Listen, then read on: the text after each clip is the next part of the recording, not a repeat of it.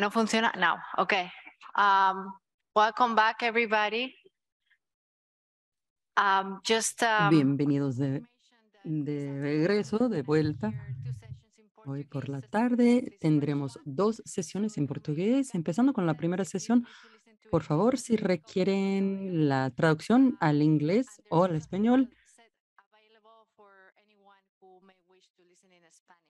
al español y al inglés, este, en el auditorio atrás para los que están nos acompañando en Zoom.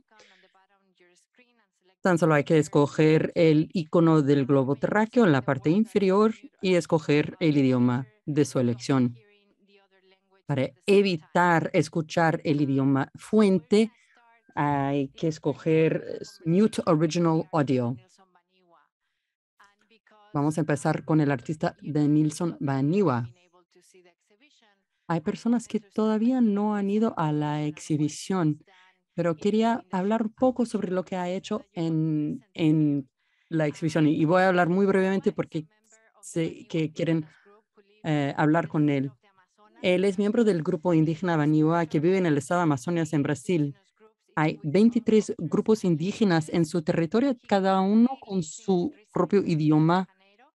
Vive actualmente en Río de Janeiro y ha tenido exhibiciones en la Pinacoteca de São Paulo, el Museo de Arte de São Paulo, el Museo de Arte Río y, y la Bienal de Sydney.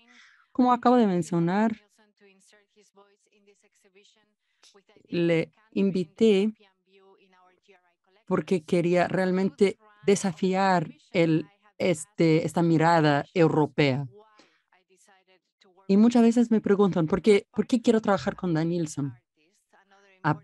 Además de ser un gran artista, él ya estaba trabajando con materiales, materiales coloniales y del siglo XIX. Y voy a compartir cuatro imágenes de sus, sus obras anteriores donde usa piezas históricas en su práctica actual. Él genera cambios en los, eh, cambios en los trabajos regionales, cambia los títulos, cambia las palabras, como se ve claramente en estas, en estas obras aquí. Lo importante es encontrar sus obras en todas las partes de la exhibición para hacernos reflexionar sobre lo que estamos viendo. Y por eso ha hecho muchas em, intervenciones con materiales, instalaciones, con murales, etcétera. A lo largo de la exhibición, aquí se ve al inicio, donde trabaja con la frase inicial. Aquí tenemos el primer mural que incluye el mapa de los, del mundo con unas palabras y unas palabras borradas también. Otro mural con eh, un- una representación alegórica de las Américas y otra vez más con el mural que es la imagen de la exhibición. Con sus palabras quiere provocar una reflexión sobre la colonización de las Américas. Su trabajo nos provoca a pensar para añadir palabras a, a- ciertos documentos o quitar palabras de documentos o simplemente utilizar documentos diferentes donde podemos contar una nueva historia a través de la colonización del punto de vista indígena. Quiere crear una nueva narrativa donde se siente incluido y por lo tanto utiliza los documentos de la colonización para construir esta nueva narrativa. Y aquí hay algunos objetos actuales. Es el, el libro Nortelles, donde ha cortado a algunos elementos. Uno ve tan solo los elementos que quiere que nosotros veamos y también lo ha cambiado a, ter- a terapia para todos. Otra obra mm, semejante, Nicolás eh, eh, lo mostró en su, su presentación, cambió el título. Se llama La historia natural de la colonización. Otra obra que mostramos antes, donde incluye una nueva capa. Ahora los eh, ha convertido los españoles en perros. Y habla de karma, del karma. En la cultura, en, en la cultura baniwa tiene una palabra que se relaciona con karma. También otra obra con una imagen alegórica que distorsiona la imagen de las Américas y al mismo tiempo muestra que para el pueblo baniwa hay figuras que tienen un, espíritu por dentro. Y lo que quería hacer con esta intervención fue liberar el espíritu de las Américas. El espíritu de las Américas es un, un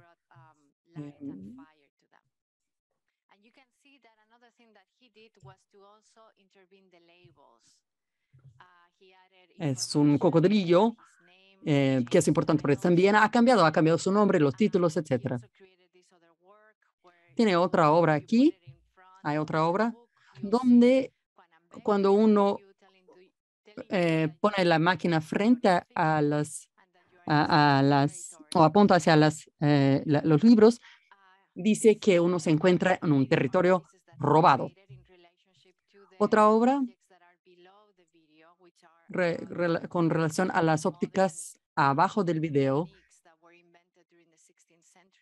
y remetan a las técnicas modernas en el siglo XVI, incluso en la posibilidad de hacer una, de imprimir.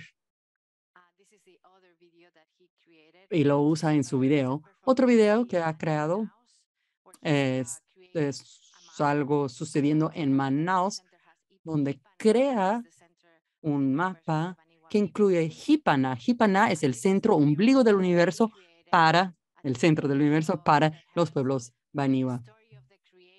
Y al final de la exhibición es la historia de la creación de la perspectiva del pueblo Baniwa. Y por último, su idea de un gabinete de curiosidades con todos los elementos que ha traído, eh, traído, del, del Amazonas y también ha cambiado la información en la óptica. Entonces voy a dejar de hablar y vamos a hablar con, con Denilson. Fernanda va a, a ser la monitora porque van a hablar en portugués. Adelante, pues. Olá a todos e todas. Uh, Denilson, uh, obrigada por estar aqui conosco. Acho que a gente pode uh, começar uh, pedindo para você pedindo para você falar um pouquinho da sua trajetória, de como você se tornou artista, como foi esse processo um, e, e como isso se encaixa, digamos assim, na sua trajetória de vida. Um, é, primeiro, muito, muito obrigado, Fernanda Pia, por estar junto nessa conversa.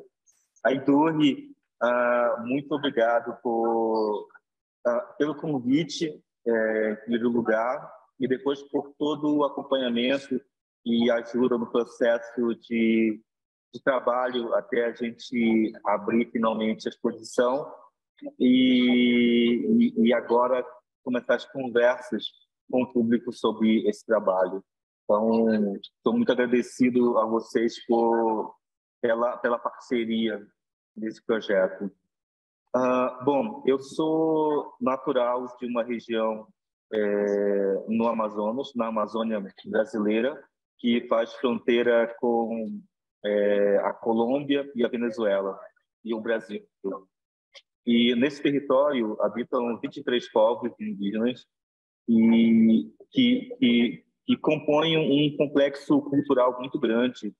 É, e nos anos 90, é, eu comecei a fazer parte do movimento indígena nesse lugar, onde eu pude aprender sobre uh, as políticas de acesso e as políticas de direito que o Brasil tinha para com os povos indígenas.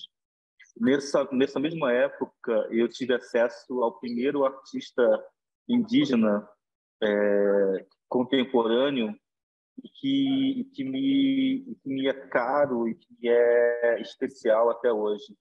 É, inclusive, nessa semana, eu estive pensando muito nisso, em pessoas que me influenciaram a ser artista. E o Feliciano Lana, esse artista do povo Dessana, da região onde eu nasci, é o primeiro artista indígena com que eu tenho contato e vai me influenciar para o resto da minha vida. É, mas nos anos 90 e início dos 2000, dos anos 2000, eu não tinha, apesar de, de gostar de desenhar e pintar e contar histórias por meio ah, de desenho, eu não tinha nenhuma pretensão de ser artista. A minha vida era dedicada a ser parte do movimento indígena e na luta por direitos é, do meu povo, da minha comunidade. É, até então. É, mesmo produzindo muito, muito trabalho artístico, eu não tinha interesse em seguir uma carreira ou me tornar artista. É, em 2015 e 2016, eu fui convidado para fazer parte de uma exposição no Rio de Janeiro chamada Jaguataporã, o Rio de Janeiro Indígena. E foi a primeira exposição onde eu vi pessoas indígenas é, sendo, sendo convidados para serem artistas dessa exposição. E esse momento me marcou bastante, porque foi um momento de ruptura no que eu queria fazer na minha vida. Então, eu saí do movimento indígena e passei a me dedicar exclusivamente à produção artística. Não só a produção artística, mas a pensar teorias sobre a arte e uma, um, um, um, exercício de pensar o que seria uma história da arte a partir dos povos indígenas.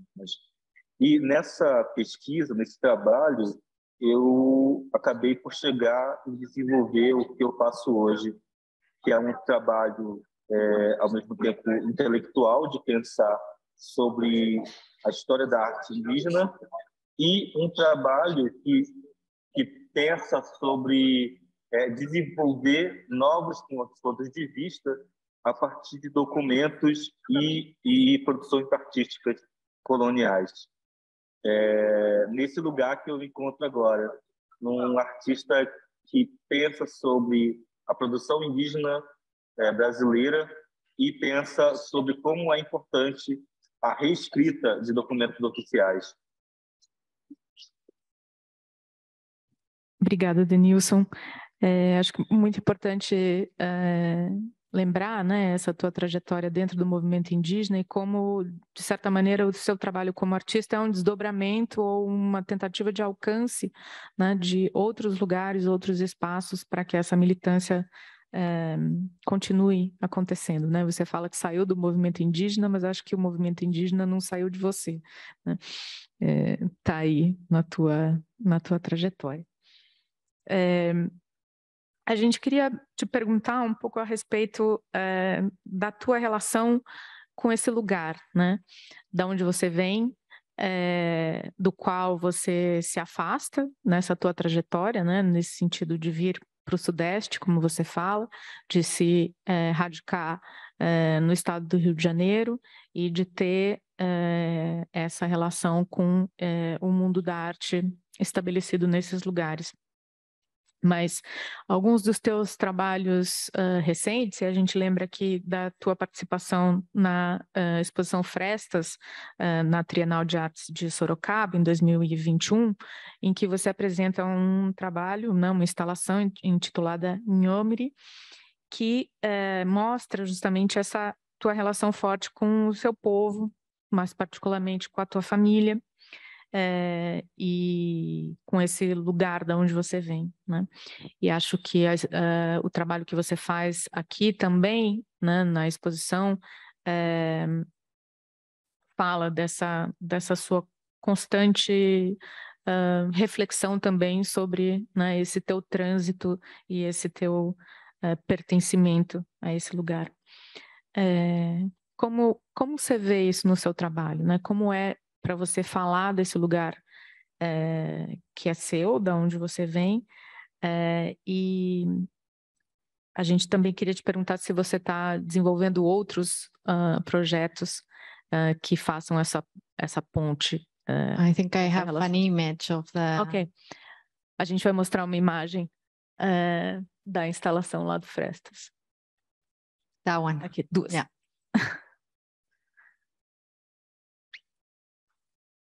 Você quer comentar um pouquinho? Per- per- Perfeito. Ah, então, é, eu tenho refletido desde o início da pandemia do SARS Covid-19 sobre a minha posição no mundo e, e o, que, o que eu quero é, o que eu quero fazer enquanto artista que possa é, comunicar ao, ao, ao mundo, ao Brasil, o lugar de onde eu venho. Isso se dá muito por eu, eu finalmente reconhecer a posição em que eu estou no momento.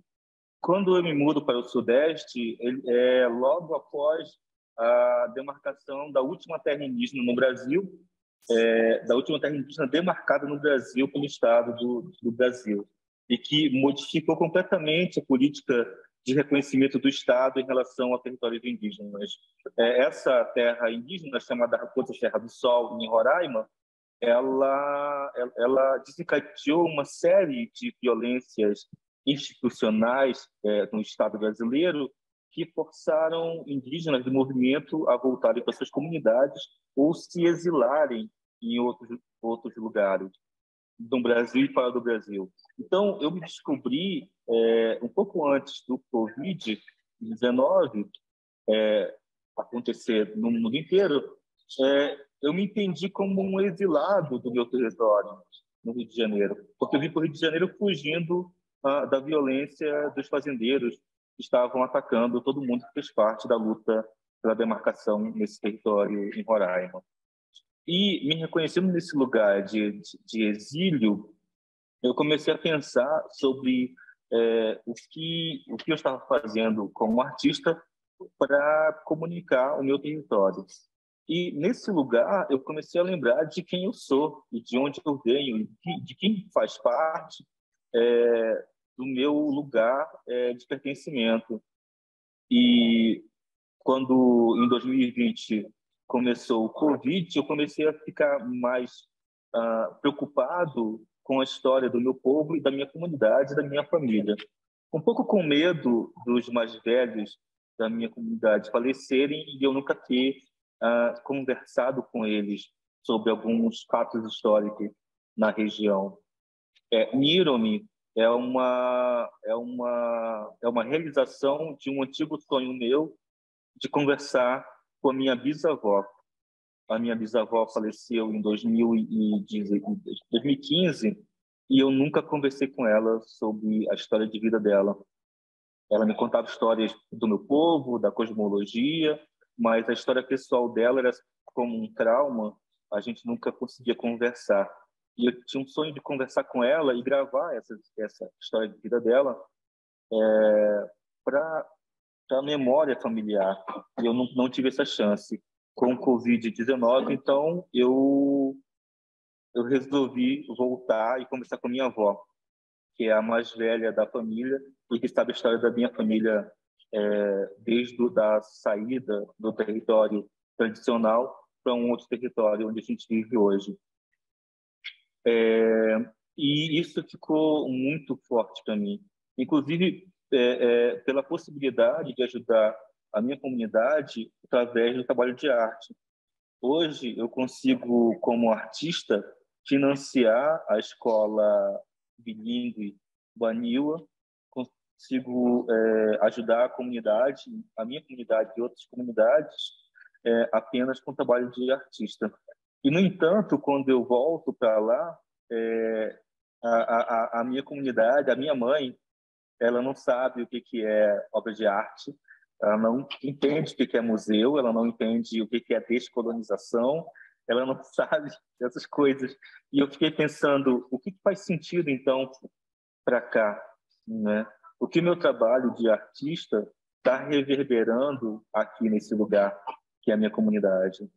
Então, é, eu tenho muito focado em, em voltar a, a voltar ou, fazer o trabalho se tornar parte da comunidade.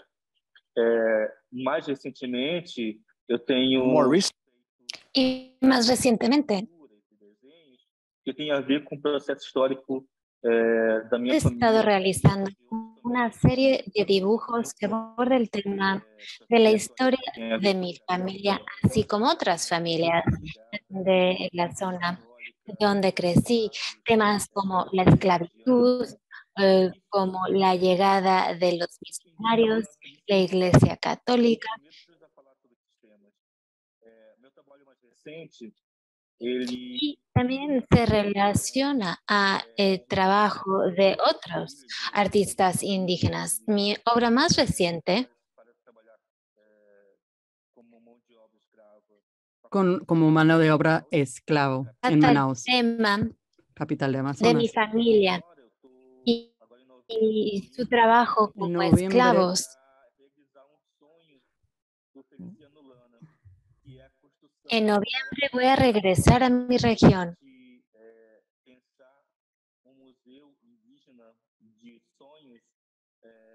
Estamos queriendo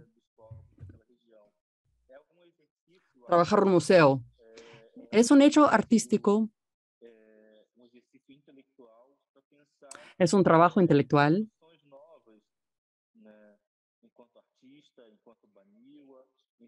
incluye construcciones como Baniwa, como artista, como originarios del territorio. Y todo tiene que ver con la ocupación tradicional y contemporánea del territorio.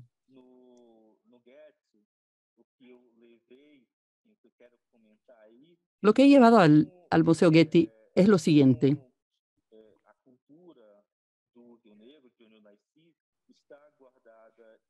La cultura muchas veces está, se encuentra en los museos de Europa, los museos de los Estados Unidos, y, ellos guardan una parte de la historia de mi familia. Muchos objetos ni siquiera son conocidos por mi pueblo. Y muchos ob- objetos dejaron de existir debido a, debido a la prohi- prohibición, a prohibiciones de la iglesia o problemas con autosustentación cultural. Llevo también la cultura baniwa para contar cómo los territorios indígenas hacen parte de la biodiversidad del ecosistema y que y eso genera aún más biodiversidad y aún más diversidad cultural. Intento mo- mostrar la importancia de la cultura indígena para el mundo y cómo es importante tener am, artistas indígenas que entienden los códigos del arte occidental.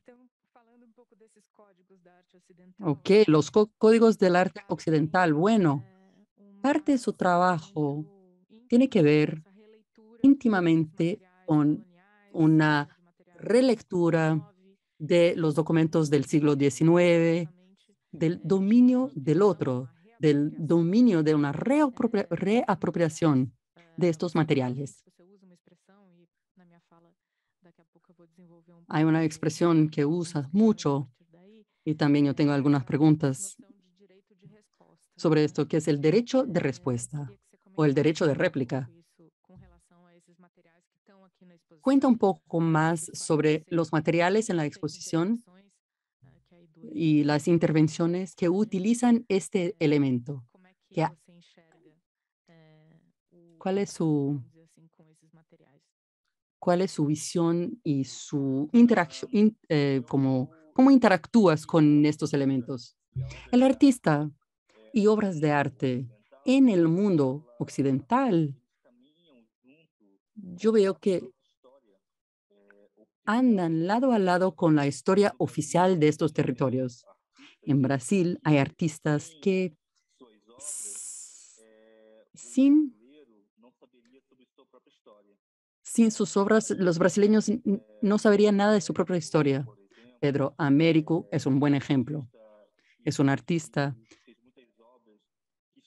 y- y sus obras se encuentran en todos los libros de la escuela. Los Cuando los niños aprenden sobre la construcción del territorio, ven sus obras de arte. Ahora bien, Teodoro de Brie, otros artistas no brasileños, agendas, otros artistas no brasileños, artistas viajeros, no viajeros, relataron el inicio de la colonización de Brasil y también participaron en la producción de obras de libros escolares. Entonces, estas historias son tan importantes como las otras historias oficiales para entender bien el territorio.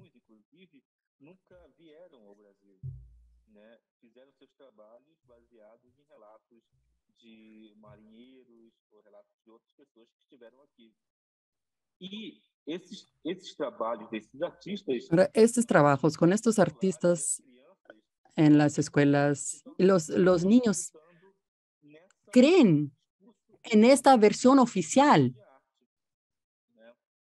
Creen en el arte que están viendo. Entonces es importante hacer una intervención. Cuando una persona indígena tiene acceso a esta historia de Brasil, que vemos a través de las obras de arte, no se reconoce a través del arte, no se reconoce.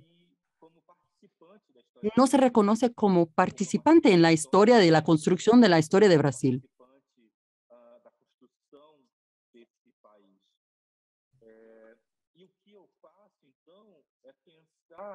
que a gente no Brasil tem 500 22 años de existencia. Ahora tenemos, son más de 500 años aquí desde el descubrimiento de Brasil. Todos nosotros sabemos los últimos 500 años. Conocemos, conocemos el punto de vista de la historia de Brasil basado en, los, en, en el arte, punto de vista de los artistas oficiales de Brasil.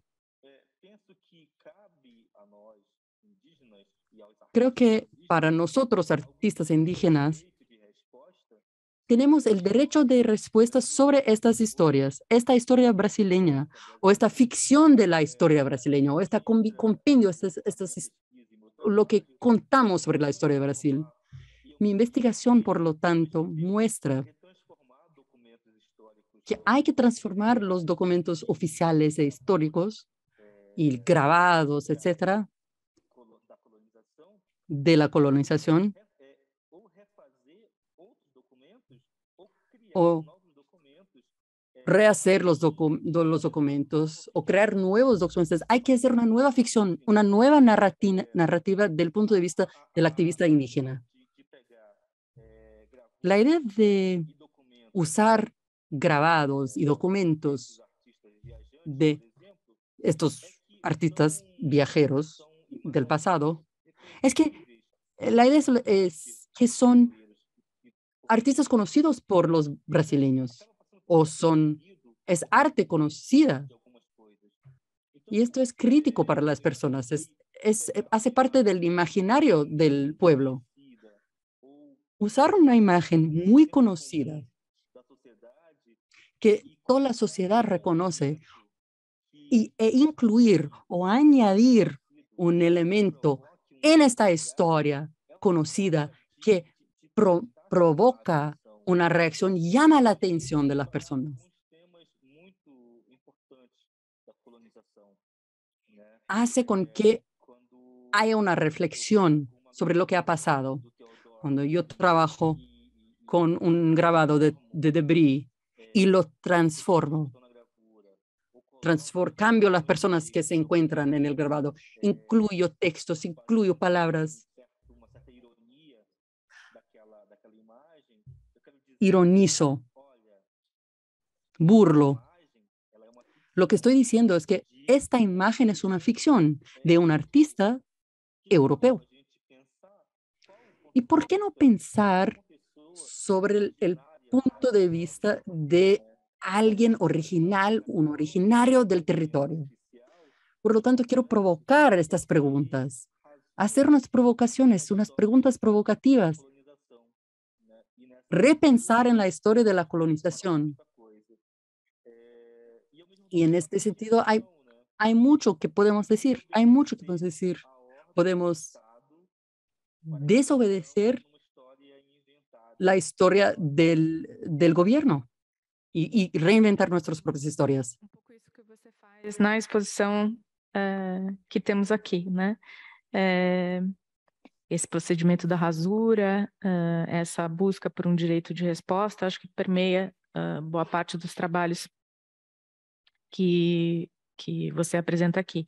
En gran Eh, parte, el trabajo, Que esses trabalhos provocam nessa exposição aqui, nesse Ou mais bien, público, né? Que ¿cuáles son sus ideas? do contexto brasileiro, do contexto para o qual você também eh, tem ¿Cómo atuado. se relaciona con el público en un contexto brasileño? Qual oportunidade que falar né, de Américas te trouxe? eh, ¿Cuáles son las oportunidades que usted ha identificado? Bom, vamos, vamos, vamos, vamos pensar a partir do do seguinte: quando eu penso um trabalho e eu é, é, elaboro Cuando um pienso trabalho, no geral, eu não mi quero trabajo. me comunicar com pessoas diferentes de mim. Quando a Idurg me Cuando convite, en mi trabajo, me motivan a comunicarme con personas diferentes. né, a presença latina Recibí un comentario muy interesante sobre Los Ángeles. mexicana em Los Angeles é, como, como algo mais Por, por ejemplo, sobre la comunidad mexicana en Los Ángeles. ela é advinda das mãos dessas pessoas. E eu tenho, eu tenho visitado alguns lugares no mundo. El arte se relaciona con esa comunidad y con esas personas.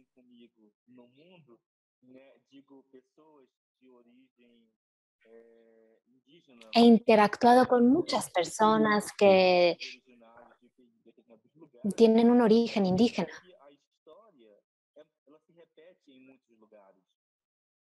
em?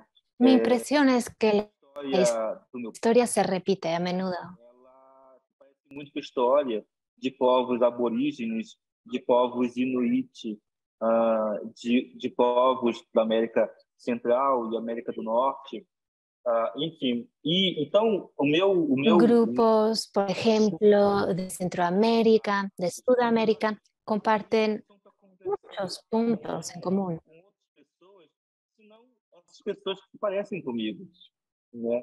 E daí eu dou No solo me interesa hablar de otras personas, sino de personas que tienen, que se parecen a comigo e vieram muito mais emocionadas.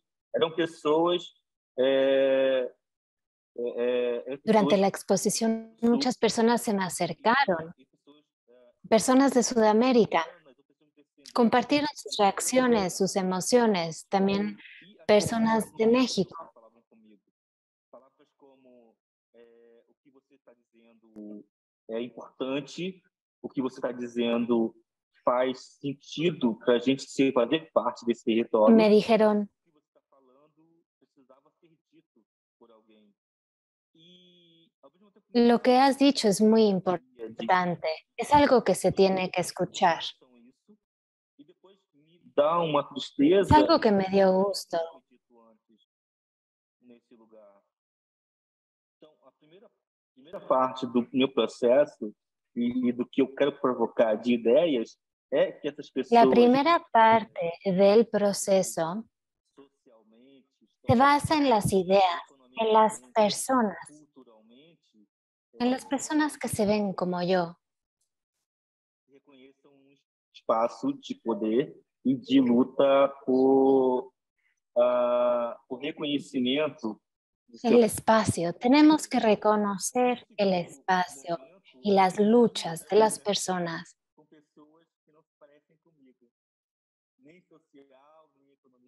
nem culturalmente, nem academicamente. Y personas también que no se parecen a mí, con diferencias económicas, culturales e históricas.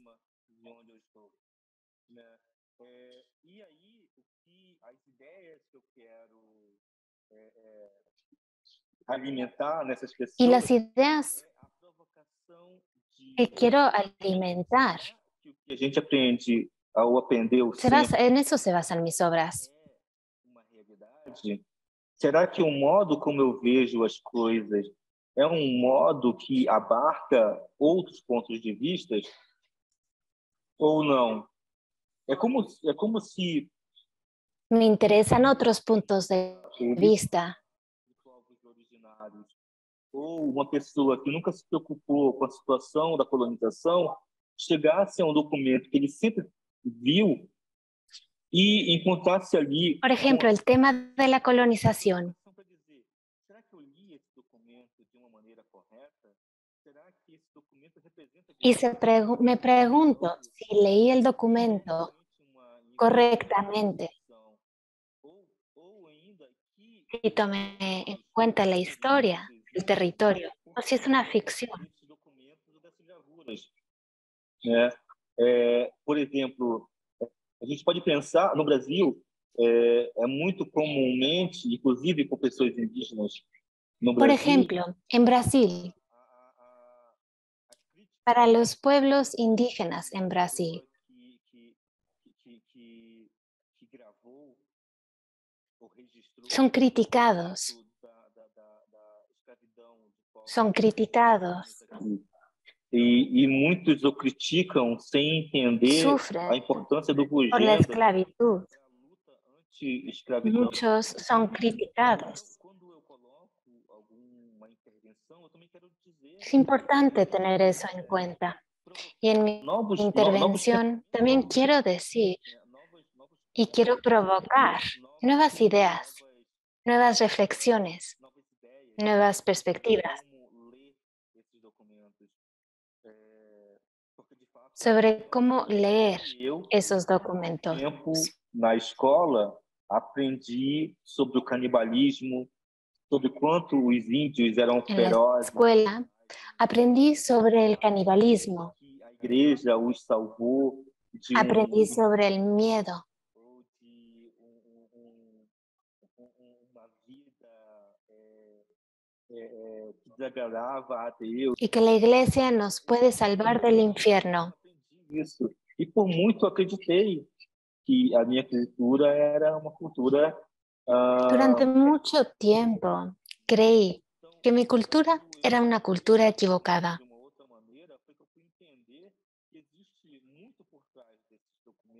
dessas Y gravuras. luego Existe muita, muita, a, muita a entender esos documentos.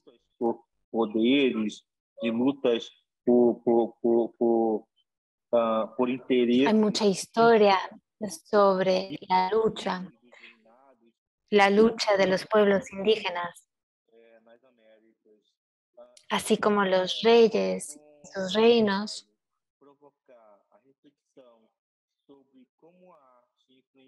Me gustaría con mi trabajo provocar, inspirar una reflexión. Para mim já ganhei muito assim. He aprendido mucho durante este trabajo. Público, eh, e eu vou fazer um pouco essa mediação aqui da Muchas gracias, Daniela. Ahora vamos a abrir para preguntas del público y yo ayudaré a traducir las preguntas. ¿Hay alguna pregunta del público o de Zoom?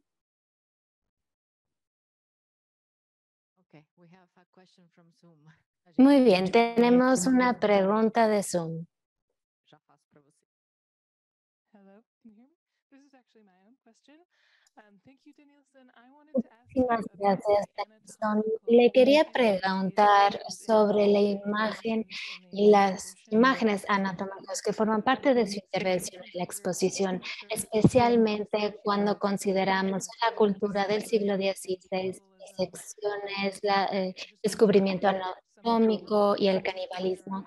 He notado que en sus obras en la GRI, GRI eso está presente y me encantaría escucharlo hablar más sobre ese tema. Ah, Tisbe, ah, may- ah, está aqui fazendo uma pergunta para você. Ela queria que você falasse um pouquinho mais sobre a imagem. La pregunta se está repitiendo ahora en portugués.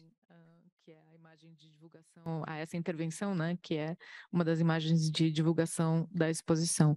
É, enfim, existem né, muitas dessas imagens, como você sabe, aqui no acervo uh, da Biblioteca do Getty, uh, e ela queria que você falasse um pouquinho mais de como você lidou com essas sobreposições e intervenções a partir dessa ideia do interior do corpo, da anatomia. Ok, uh, obrigado pela pergunta. Tem, tem uma coisa meio que memento mori, né, é, dessa coisa de que é, a humanidade ela compartilha. Muchas gracias por la pregunta. Alguns finais comuns, né? Uh, um dos finais comuns é que a gente. La humanidad comparte muchos uh, finales, muchas finalidades.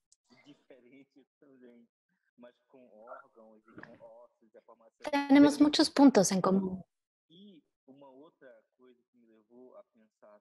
Nuestros cuerpos son los mismos.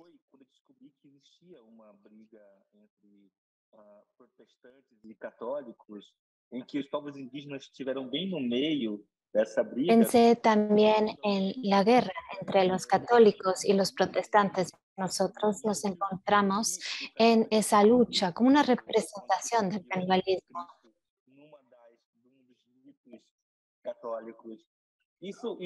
Por ejemplo, en el catolicismo se come uno, se consume el cuerpo de Cristo.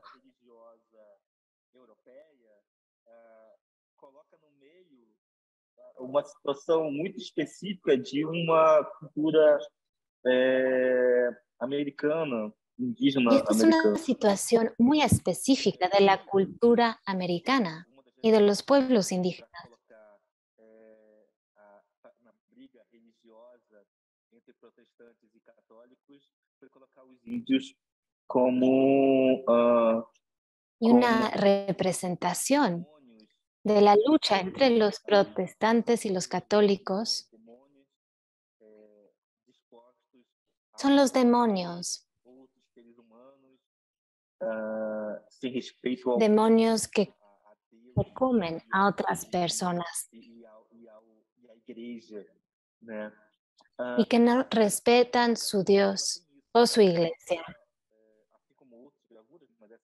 essa, que está falando, tem é, essas pessoas indígenas com os dentes Y pontiagudos. ese grabado incluye a personas indígenas con dientes filosos, colmillos. É, e, e aí eu fiquei pensando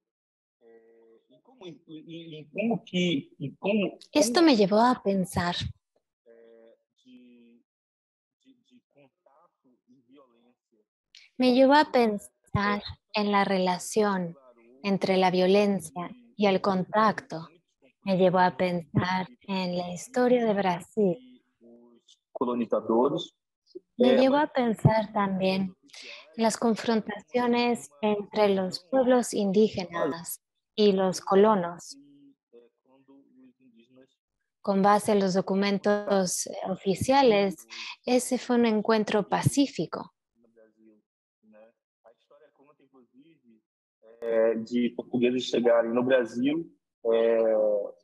famélicos, La historia oficial dice que esto fue un proceso pacífico. e, e, e, a- e alguns povos indígenas receberem Dice que cuando llegaron estaban cansados, tenían hambre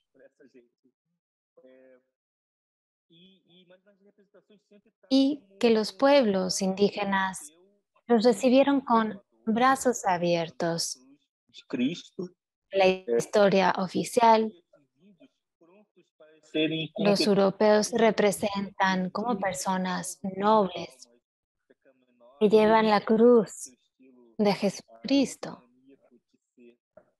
É, Ignora-se completamente grande parte da cultura indígena e foca e se foca num único elemento que é a antropofagia, né? Solo se enfocan en un elemento e ignoran otros elementos. Colocar um pouco da ideia do que, do que é que somos enquanto corpo humano,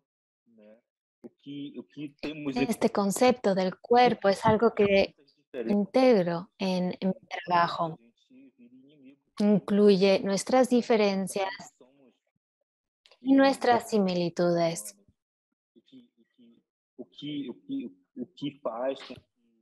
É, nos tornamos inimigos ou estejamos em guerra é, é, é conceitos muito abstratos Los seres humanos comparten el mismo cuerpo.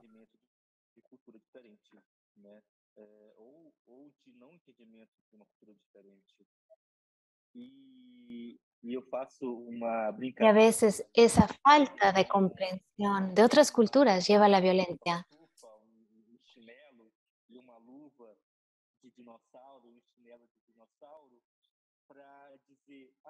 Pienso, por ejemplo, en antes en sandalias y que quizás cuando los europeos llegaron a Latinoamérica,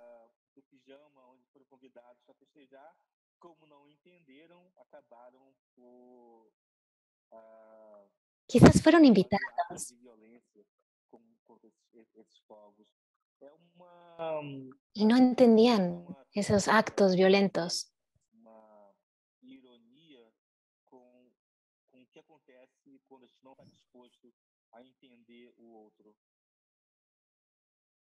Es una perspectiva irónica. Muchas gracias, Denilson. ¿Hay alguna otra pregunta? Muchísimas gracias por una presentación brillante, poderosa e inspiradora. Soy consciente de la trágica pérdida en, las Amazonas, en Amazonia, y quisiera saber si las ideas indígenas pueden salvar el mundo, porque las ideas europeas no lo están logrando.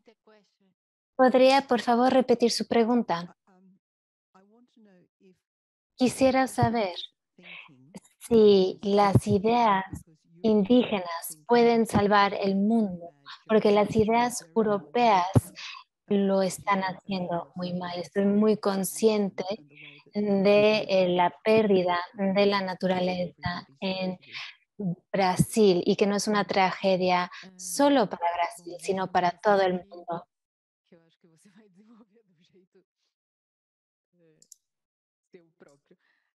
pergunta uh, se uh, o pensamento indígena pode salvar o mundo, porque o pensamento europeu não está fazendo um bom trabalho nesse respeito. Que ela está consciente da, da situação de urgência, como por exemplo no caso da Amazônia, e gostaria de ouvir você com relação a isso. Uh, ótima pergunta. Primeiro, Essa é uma excelente pergunta.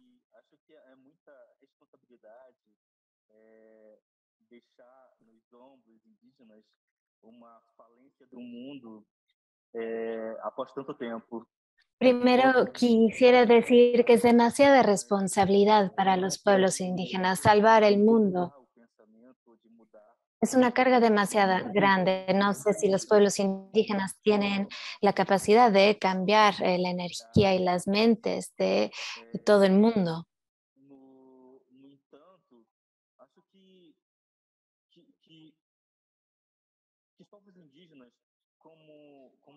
Pessoas que nunca foram escutados, é, agora que, que conseguem falar. Os pueblos indígenas en su momento no fueron escuchados. Ahora sí tienen una voz y ahora sí se escuchan y por tanto aportan elementos importantes.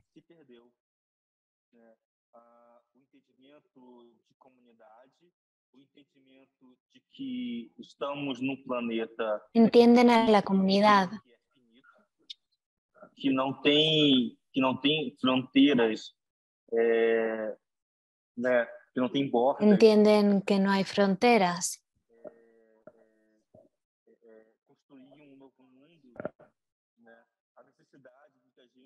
No podemos construir un nuevo mundo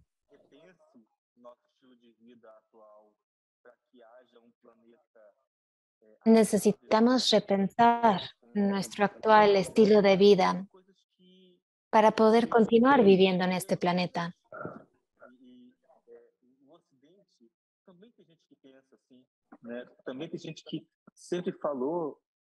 También hay personas en Europa y en el occidente que comparten estas ideas. Por ejemplo, cómo cuidar al planeta y nuestra existencia. Existe uma outra gente ocidental que pensa o planeta como uma fonte ine- inesgotável de, de, de, de También hay personas en el mundo occidente que ven al planeta como un recurso infinito de materias primas. sobre como é esse planeta e como devemos habitá-lo. Los pueblos indígenas tienen una amplia gama de ideas y de perspectivas sobre este planeta.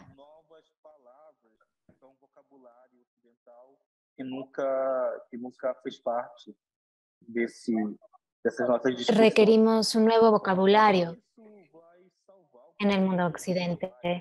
No sé si esto vaya a salvar el mundo, talvez nos fa- nos faça pensar sobre ah, novos modos de existência.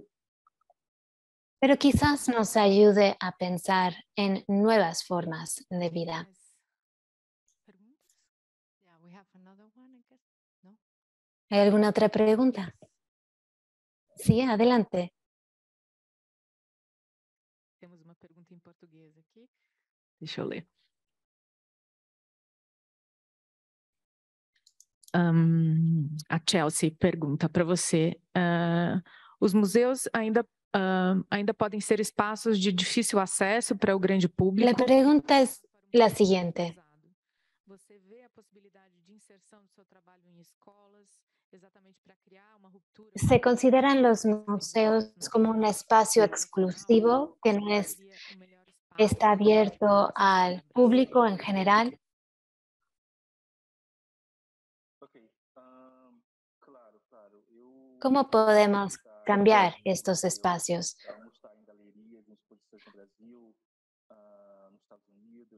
A mí me interesan mucho los museos. Me gusta visitar museos en Estados Unidos, en Europa, en Brasil. Me da gusto que mis obras se presenten en un entorno institucional.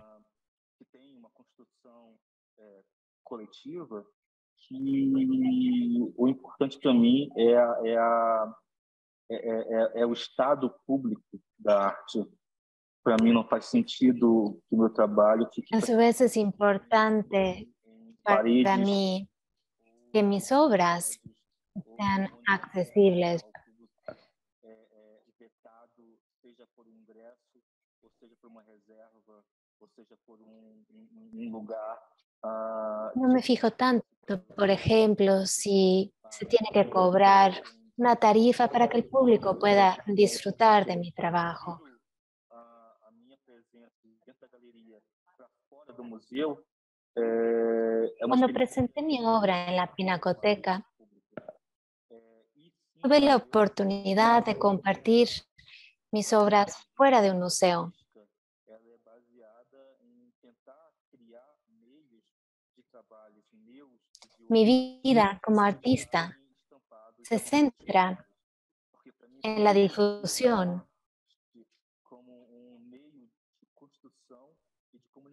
pública.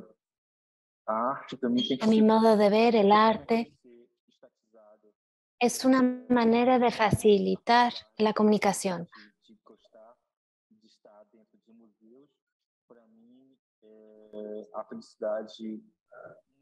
Maior quando eu vejo um trabalho meu nas ruas, em espaços públicos, em debates. Si bien me gusta participar en los museos, en las exposiciones de los museos, disfruto aún más colaboraciones con escuelas, colegios y comunidades.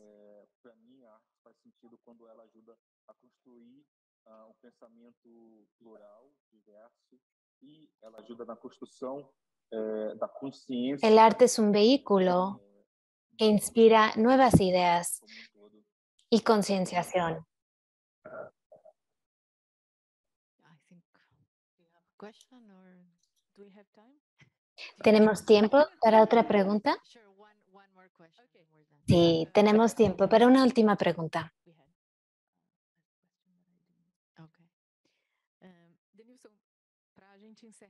Eh, pouco aqui, a gente queria te ouvir falar um, um pouco mais. eh, En conclusión, de Nilsson, em nos no gustaría que nos hablara sobre el presente, sobre este momento?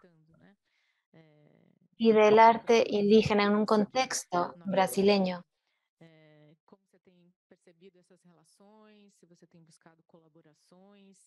eh, ¿Cuál es su percepción del contexto? reflexão é, transamericana.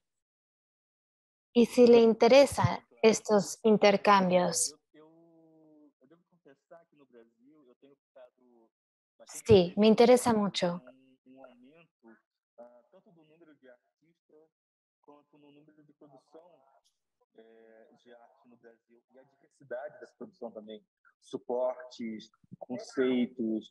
Em Brasil, hay muchos estilos y muchos conceptos y diferentes maneras de pensar.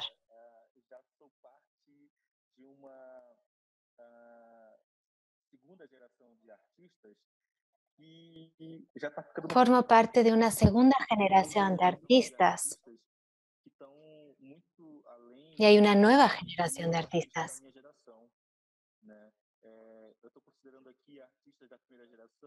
Artistas do século XIX eh, e início do século XX. Pienso también en artistas del siglo XIX y del siglo XX. dos anos 2000 ou dos anos 90 no Brasil. E. E, e Yo pertenezco a la segunda generación. Y ahora vemos una tercera y una cuarta generación. Me impresiona ver el crecimiento.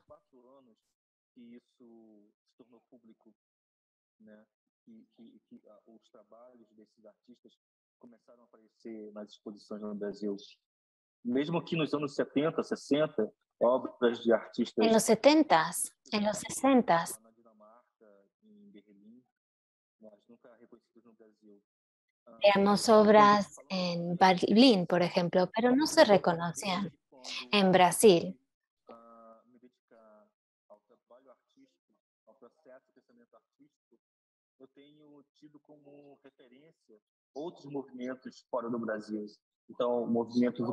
y tengo referencias también fuera de Brasil, en Norteamérica, en Canadá, en Australia. Quem esteve antes de mim e que processos tiveram e, que, e o que eu posso Siempre con el fin de aprender de esos procesos. Eu estive 2018, 2019 no Canadá. En 2018, 2019, viajé a Canadá y conocí a varios artistas, artistas Anishinaabe.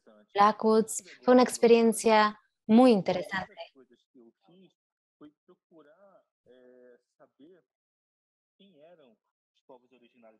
Una de las primeras cosas que hice fue conocer a los pueblos originarios de esos lugares.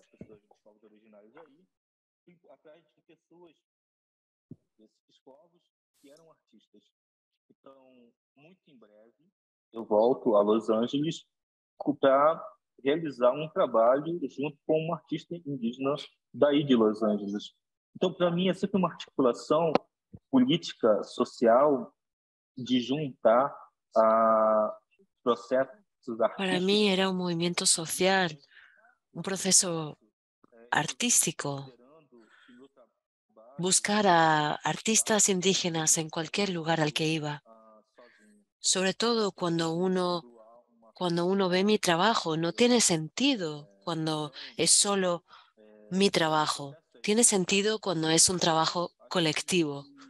Y en Brasil creo que vamos a ver muchas sorpresas, porque cuando veo el trabajo de otros artistas es impresionante.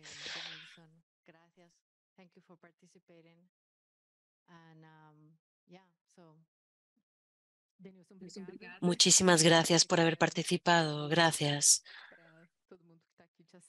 Muchas gracias por todas las personas que están aquí presentes, eh, también por aquellas que están eh, viendo todo esto por Zoom. Gracias.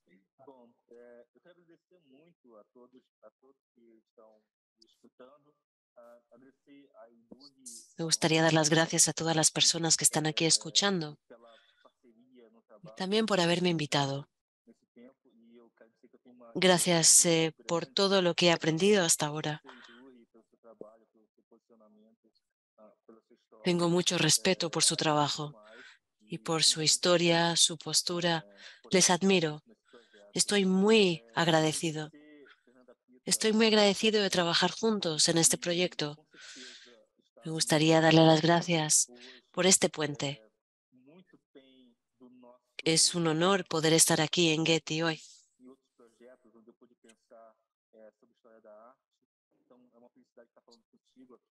Es una maravilla poder estar en un espacio donde pueda, eh, podemos pensar en la historia del arte. Hemos tenido la oportunidad de hablar sobre esto y hablar sobre la presencia indígena y el arte en Brasil. Muchas gracias por esta cálida bienvenida. Gracias. Espero verles en otro momento pronto en persona.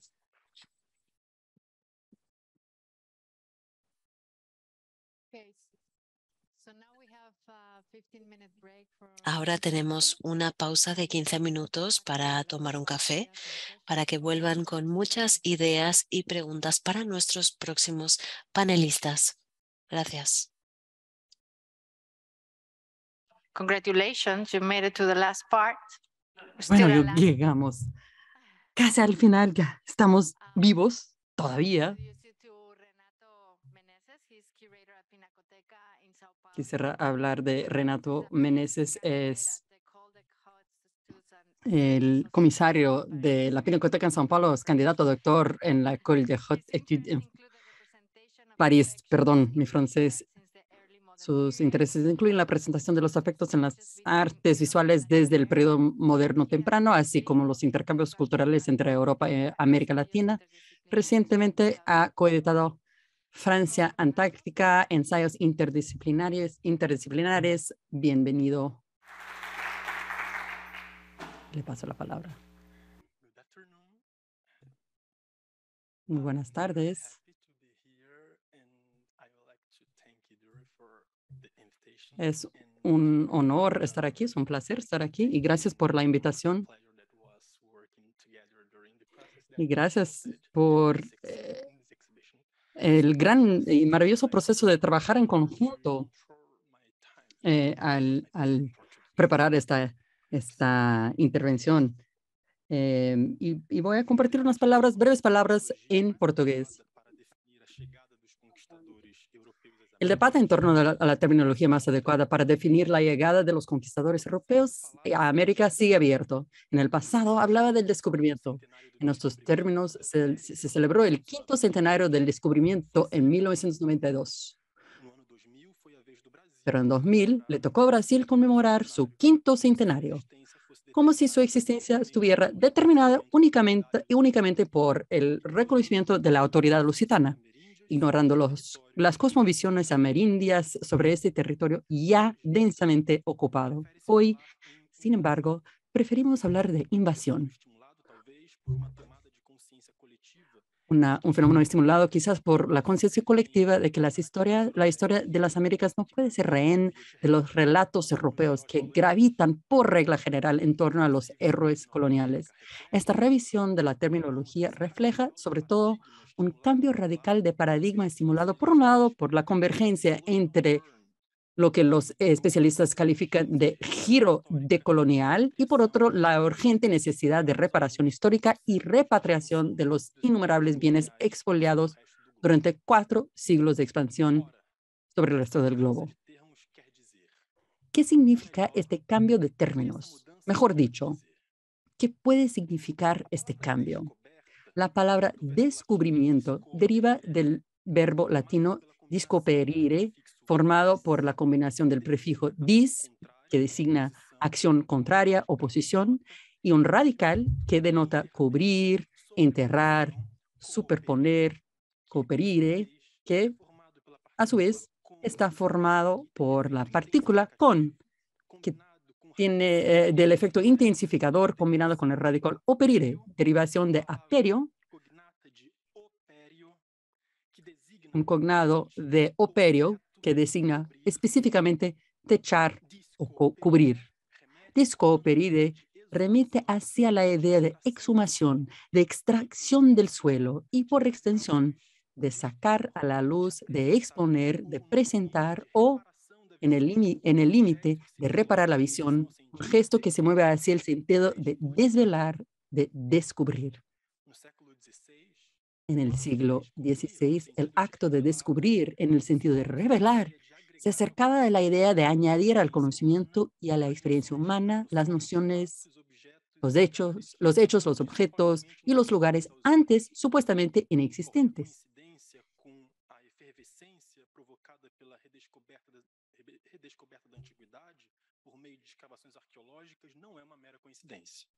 Y esto no es una coincidencia. Esta idea de descubierta sostiene el pilar central de la retórica de la colonización. Basta pensar que algunas de las principales imágenes que inventaron la imagen de América para el público europeo recurrieron a la forma del teatro, anclada en la idea, de, la idea del teatro propuesto por Delminio, según la cual era posible almacenar en la memoria un gran volumen de información diversa a partir de la combinación de elementos buscados, en su esquema mental para crear formas de catalogar toda la información del mundo para el conocimiento práctico y la experiencia. El frontispicio del Teatrum Orbis Terrarum de Ortelius. Aquí el frontispicio de Americae Ritetio, concebido por Stradanus. El frontispicio de la obra Historia Naturalis Brasileae de Willem Piso, los frontispicios de las obras de Theodore de Brie, entre los cuales destaco el de América y Tertia Pars y también la lámina número uno de Nova Reperta, recurren a la fórmula teatral, no solamente porque presentan sus respectivas obras, sino porque presentan visiones del nuevo mundo. Por lo tanto, constituyen un vehículo privilegiado para afirmar la idea del descubrimiento, siempre en el sentido de revelación, presentación y espectáculo, en el que se celebra no las Américas, sino los efectos de la noción de expansión y dilatación de la escala del globo como se ha esforzado en transmitir la historiografía tradicional. Por otro lado, hay la palabra invasión, también de origen latino, invadere, prefijo in, la existencia de una parte dentro que se opone a una parte de fuera, y remite a la idea de avance hacia el interior, entrada, con, también con la partícula vadere, que viene del infinito vado, heredero del verbo indoeuropeo is, que en griego da origen a palabras como hieros, lo sagrado, y en latín da origen a palabras como ire, un verbo que denota movimiento y velocidad. La raíz eis aparece en general relacionado con verbos que designan el impulso, ímpetu, movimiento en el corazón. La filóloga filóloga argentina Bordeló ha llamado etimología de las pasiones. La raíz es estaba muy presente en la literatura antigua, refiriéndose a una fuerza divina, así garantizando así la superior de la fuerza de los dioses sobre el poder de los humanos. Invadere, por lo tanto, denota entrar con ímpetu, con violencia y fuerza en un territorio para ocuparlo, depredarlo, saquearlo, o también establecerlo como posesión de sus conquistadores, demostrando los efectos de esta energía de expansión. La noción de invasión ha entrado en nuestro vocabulario estrechamente asociado a la apropiación y el uso irregular de un territorio de otro. Tal vez por eso fue sistemáticamente evitado por los viajeros europeos, especialmente los españoles, que por la misma razón también evitaron utilizar palabras como conquista, conquistadores, sustituidas por descubrimiento, pobladores, en la época en que Europa ya se extendía la leyenda negra. El eufemismo es una figura retórica que se caracteriza por suavizar las ideas crudas y desagradables, pero sin alterar la naturaleza del objeto descrito. Por tanto, un eufemismo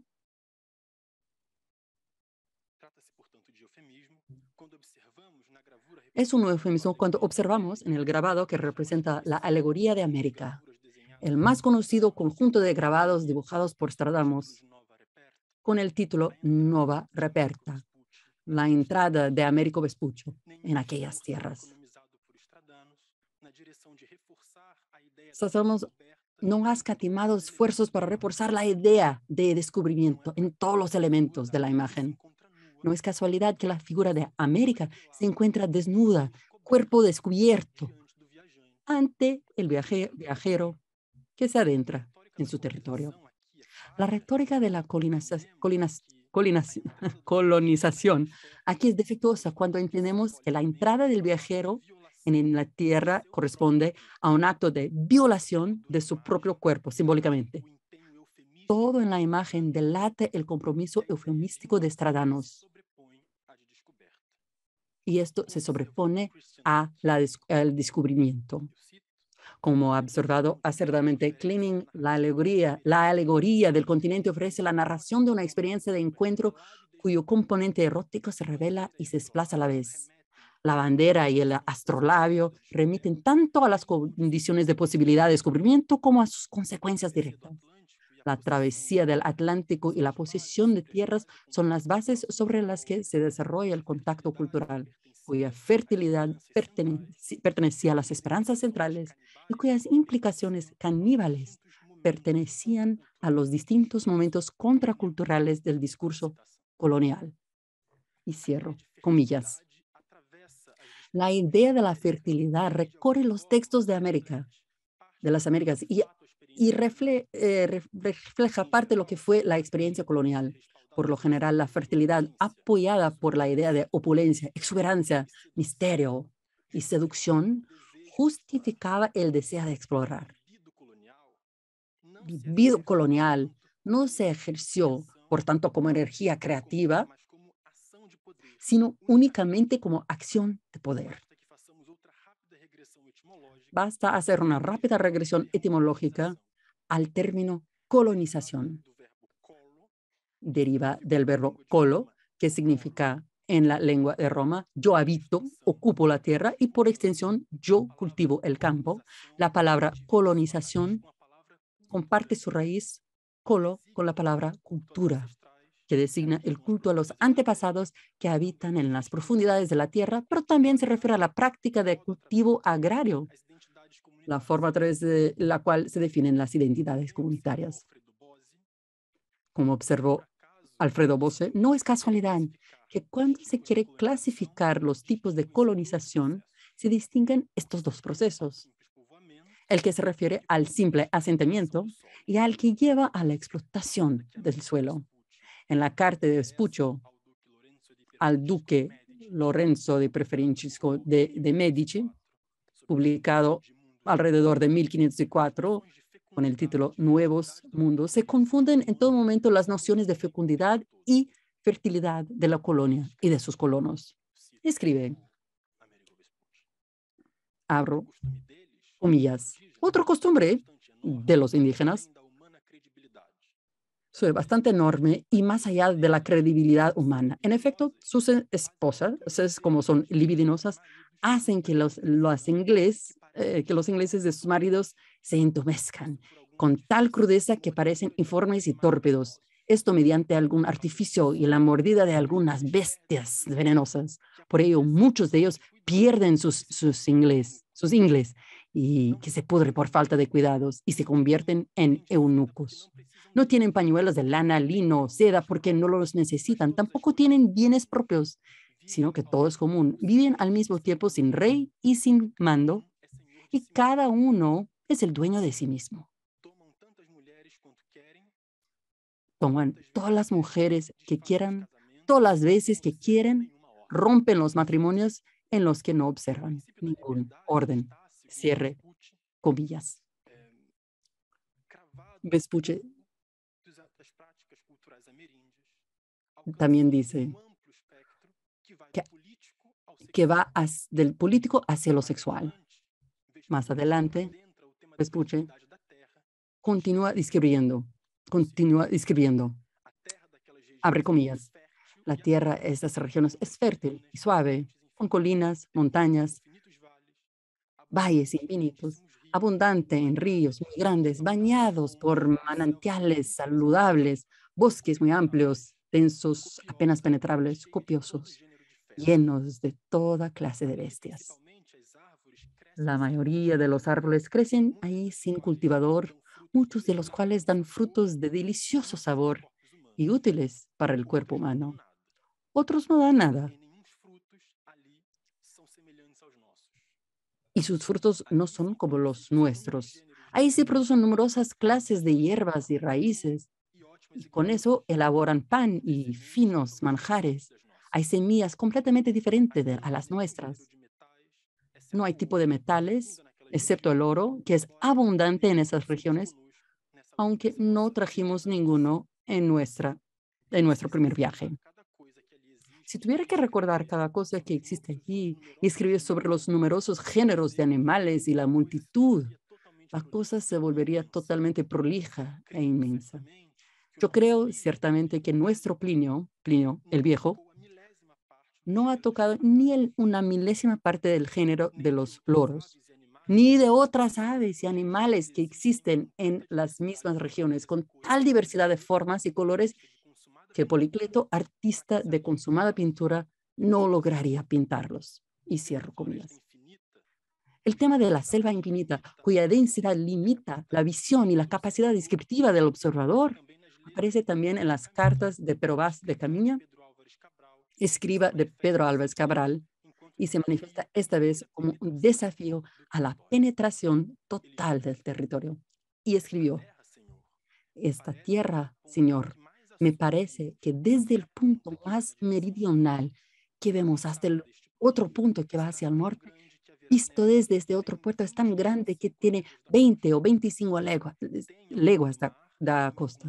Tiene a lo largo del mar en algunas partes grandes barreras algunas rojas y otras blancas, y la tierra de arriba es toda plana y llena de grandes árboles.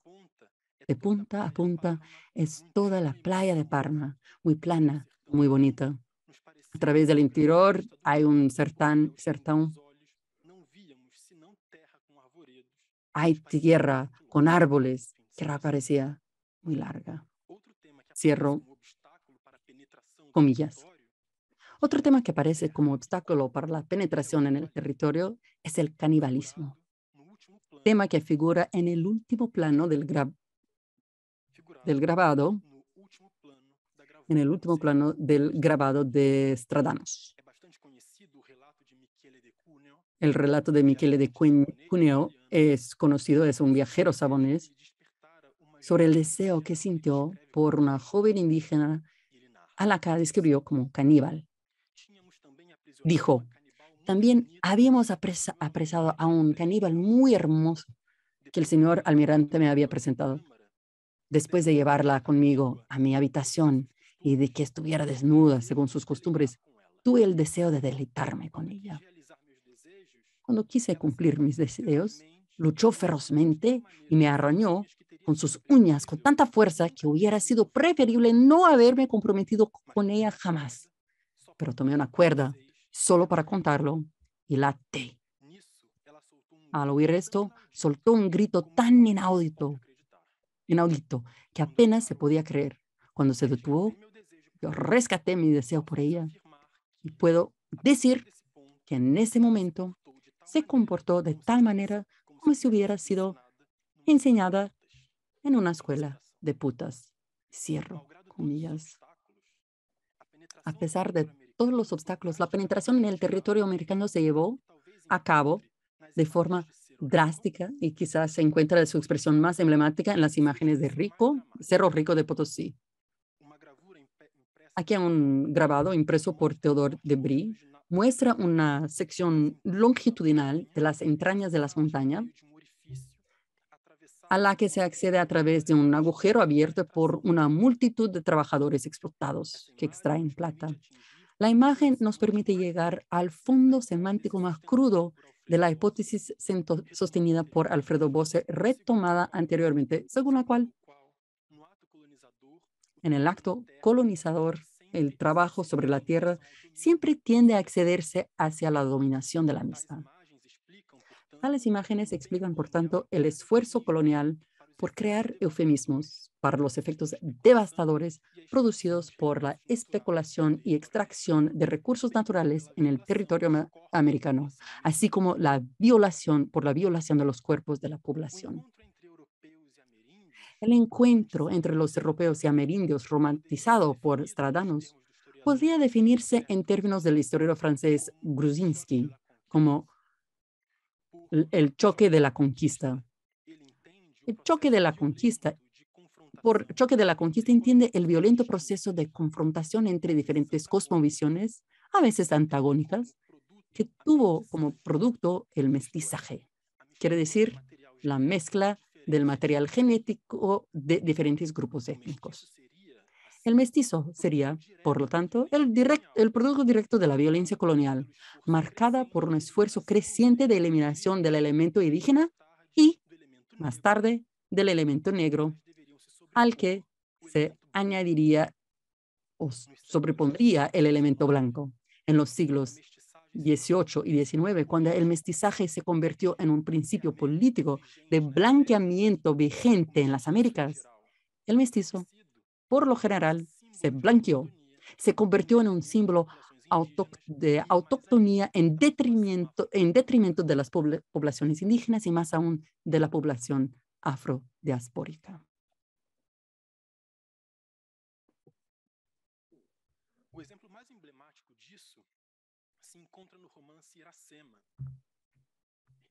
El ejemplo más emblemático lo encontramos en la novela Iracema.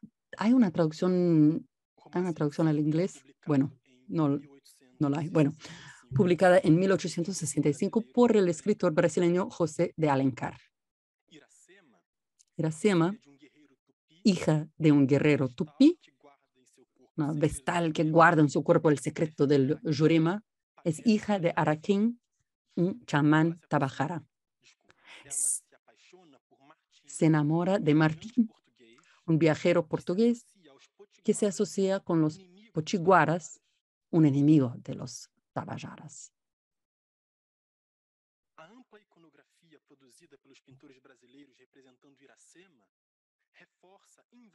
Esto refuerza invariablemente su tristeza provocada por el deseo imposible de tener Martín como su amante. Y de este romance prohibido nació Moacir, el primer mestizo brasileño.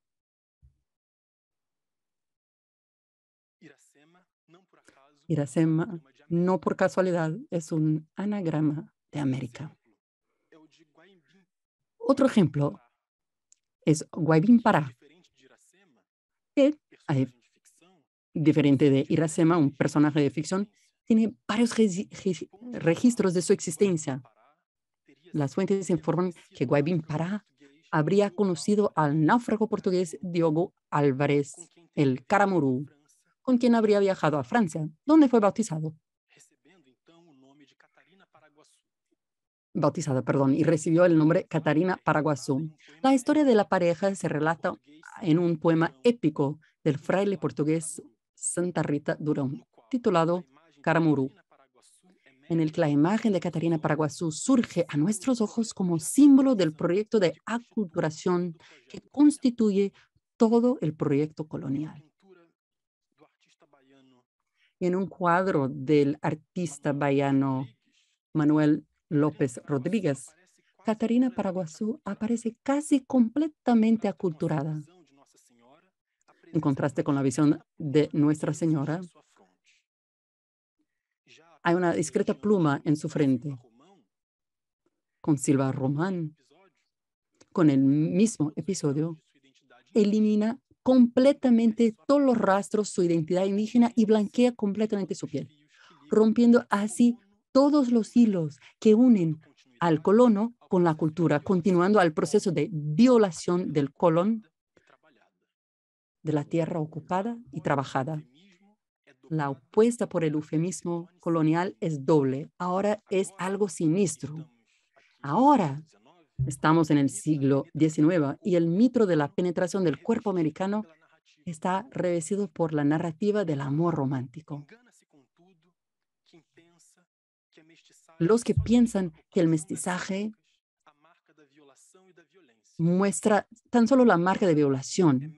Con ella hay un profundo sentimiento de submisión y una actitud contra el colonial, con dominación y exploración que hay que ser rescatado. Catarina Paraguazú.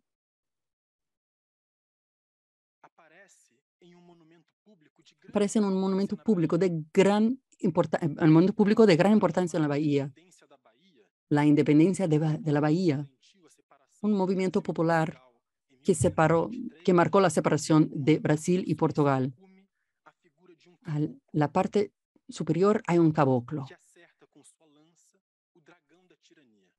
y ataque el dragón de la tiranía. La palabra caboclo muestra la interacción de indígena, no indígena, blancos y no blancos y negros, y que el momento indígena sobresale y, y es lo que prevalece.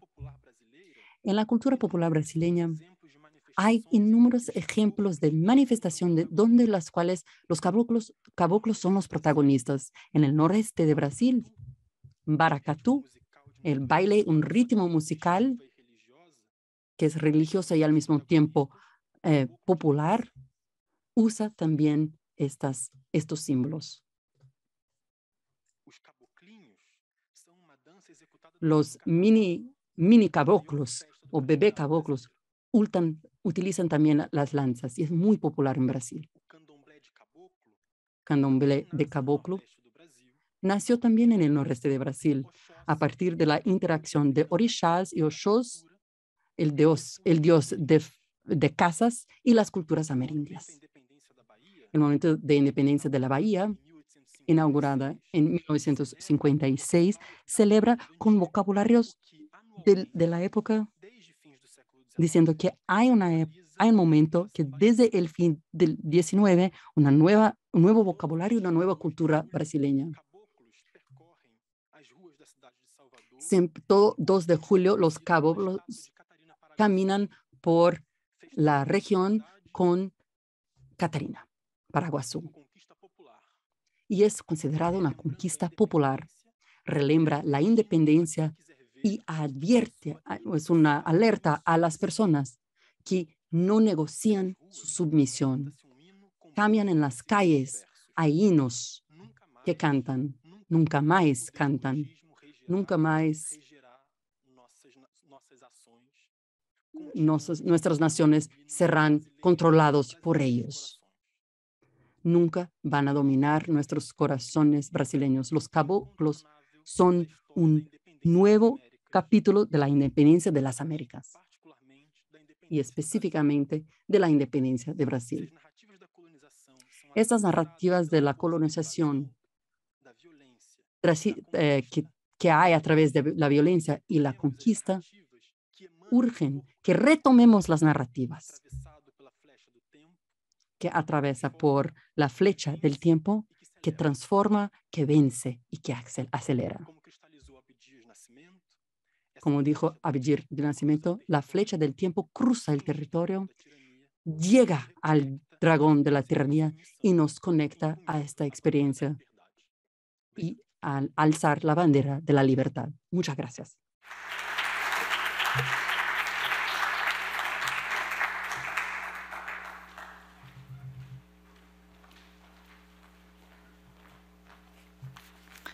Now we're gonna hear from Fernanda Pita, who is professor at the Museum of Contemporary Art at the University of Sao Paulo.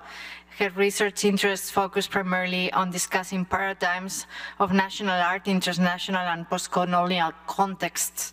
She is co-editor of Trabalho de Artistas, Imagine How to Imagine from 2018, and Ana Maria Tavares in The Very Place from 2016.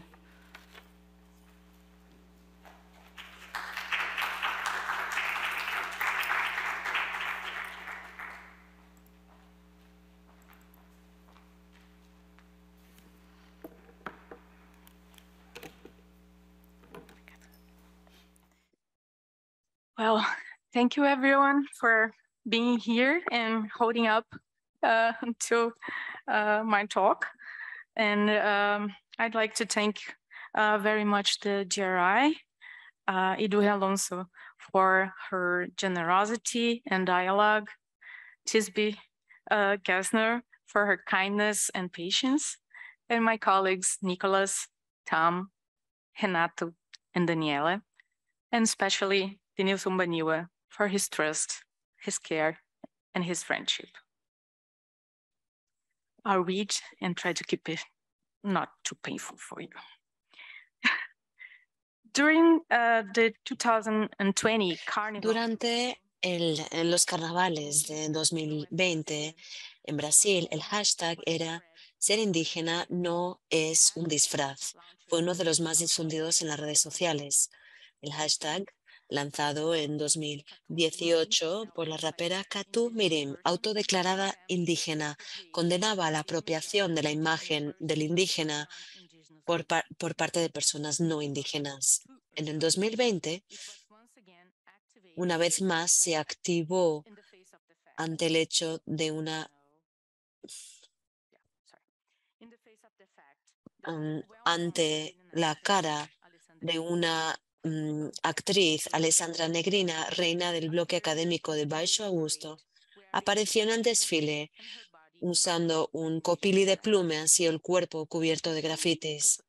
Negrini, el disfraz de Negrini, quería apoyar la causa indígena, una posición contraria a las maniobras del gobierno de Bolsonaro, que quería regularizar, regularizar la expropiación de tierras indígenas y minería en tierras demarcadas, además de colocar nombres evidentemente antiindígenas en cargos críticos, como el presidente de FUNAI, acompañados de dirigentes, dos de ellos diputadas federales electas, Sonia Guajarara y Celia Sacriaba.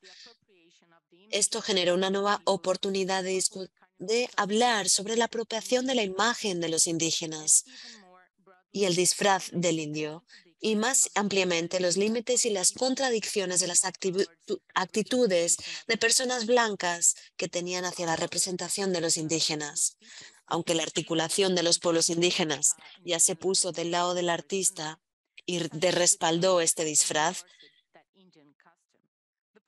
la posición no fue aceptada por otros líderes indígenas. Pago Rodríguez em, expresó su descontento, llamando la atención sobre una diferencia posicional que la blancura tiende a ignorar cuando quiere presentarse como aliado de las causas indígenas, y dijo, hay varias maneras de apoyarnos en nuestra lucha y la apropiación no es apoyarnos. Cuando llevamos nuestras plumas y nos pinturas, lo que sufrimos se llama racismo. Representación, apropiación, derecho de réplica. Estos son los temas que me gustaría tratar hoy, hablando de la oportunidad que da esta exposición, reinventar las Américas, construir, borrar, repetir, nos presenta. Me gustaría abordarlo en dos partes. Primero, hablaré brevemente sobre algunas imágenes, algunos regímenes de, imágenes, imágenes de regímenes de la representación de los indígenas presentes en las obras de la exposición y aquellas a principios del siglo XIX. Después, opondré una reflexión sobre la operación que hizo Denilson Baniwa sobre un conjunto de grabados que representan cuerpos y, y maneras indígenas. Esta operación que llama em, borrar se enuncia en la secuencia de los tres verbos del subtítulo de la muestra. Construir, borrar, repetir. Me interesa hablar especialmente sobre cómo estos artistas que hablan de borrar hablan sobre el procedimiento de borrar y repetir. Pone en evidencia las proyecciones y contradicciones de estos regímenes de imagen y cómo representan a los pueblos indígenas. Además, en paralelo, su operación arroja luz sobre las crisis de estos regímenes de la representación en el siglo XIX, representada por la alternativa paródica, crisis que permanece como un trauma en la actualidad y un trauma que produce Baniwa en, un derecho en el derecho de réplica. Las imágenes de los pueblos indígenas hasta mediados del siglo XIX, imágenes que se ven en crónicas de viajes que, se hicieron, que hicieron Hans Staden, John Leary o Theodore Debris, que comparten un régimen que podemos llamar alegórico. Esta representación atraviesa las alegorías de América y se transmuta, incluyendo de femenino a masculino, y las alegorías del nuevo reino brasileño, el genio de Brasil, el imperio de Brasil, o partes como ríos que toma la figura del indígena como encarnación de los límites del territorio y sus cualidades. Aquí pueden ver tres de esas imágenes que se muestran. Estas eh, imágenes alegóricas del cuerpo indígena.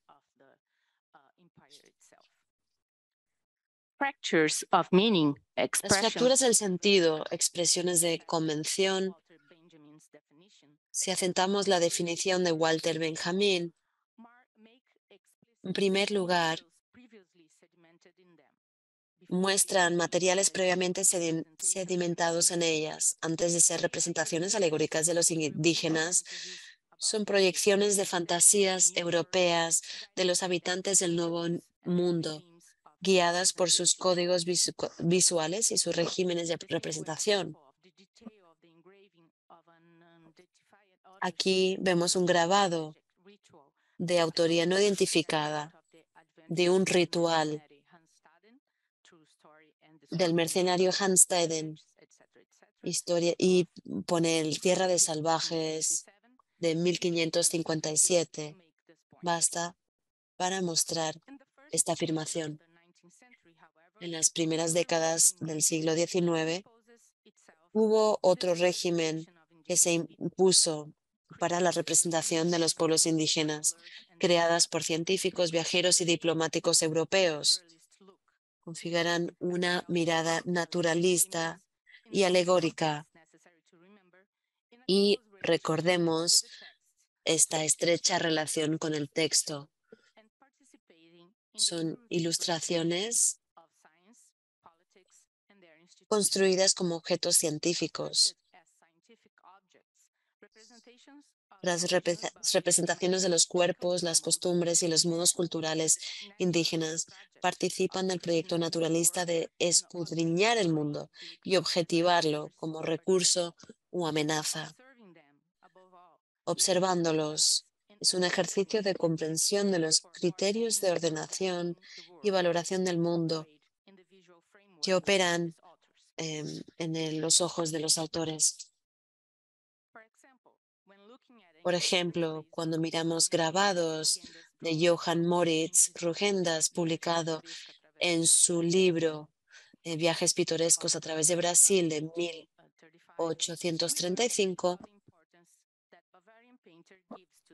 vemos eh, la importancia que dio el pintor bávaro, además de a los hábitos sociales de enterrar a los muertos, las tecnologías de transporte, de caza y de pesca y cómo reflexiona sobre el contacto con- de los europeos con poblaciones indígenas. Vemos en los perfiles de pueblos indígenas publicados por estos textos conde- del conde de Castenau fue a Brasil, mm, lo, lo envió el rey Luis Felipe de Francia entre 1843 y 47 y fue a clasificar a los seres humanos en diferentes tipos para observar sus fisionomía y para proyectar sus criterios evolutivos y para ver si el, el peligro que representaban. Podemos reflejar la jerarquía que, que creo desde las personas desnudas hasta vestidos, la- los protocolos de ceremonias y el uso de su saber. Todos estos dibujos eh, son acompañados de textos y etiquetas que describen la narrativa que usaban como útil, ah, amenazador, curioso en eh, los ojos del explorador.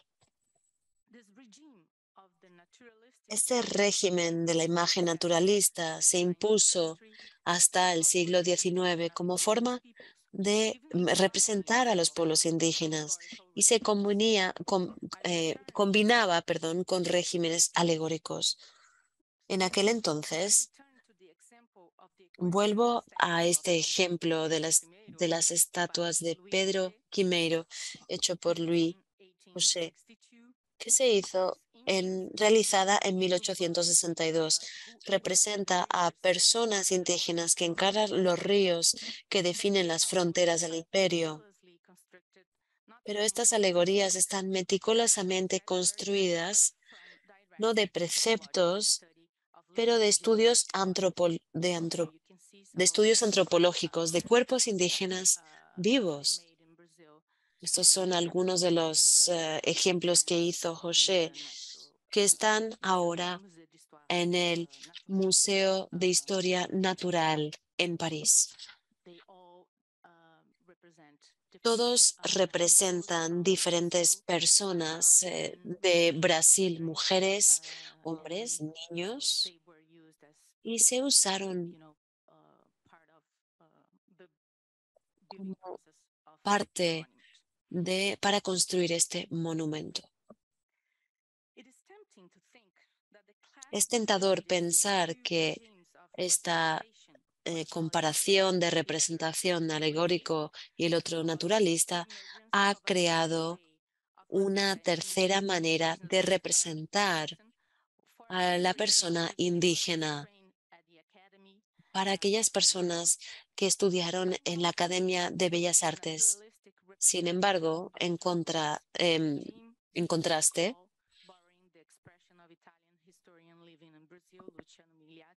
vemos eh, el trabajo de Luciano, un artista italiano.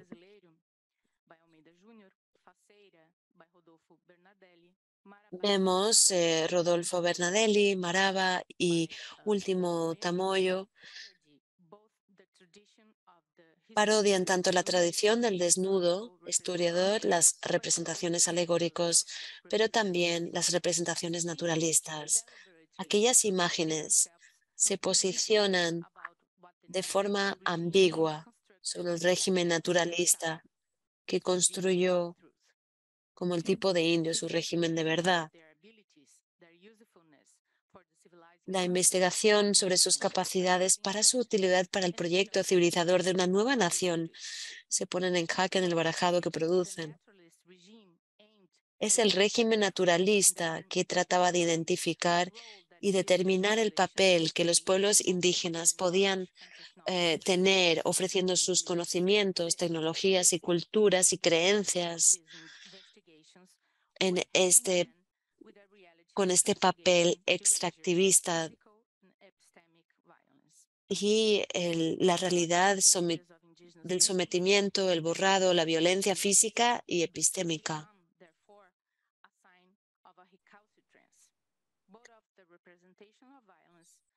Esto representa violencia de la manera en la que fueron tratados en la sociedad brasileña y la angustiada expectativa de las élites por un nuevo arreglo social, político y económico para la nación en el que necesitaban los pueblos indígenas.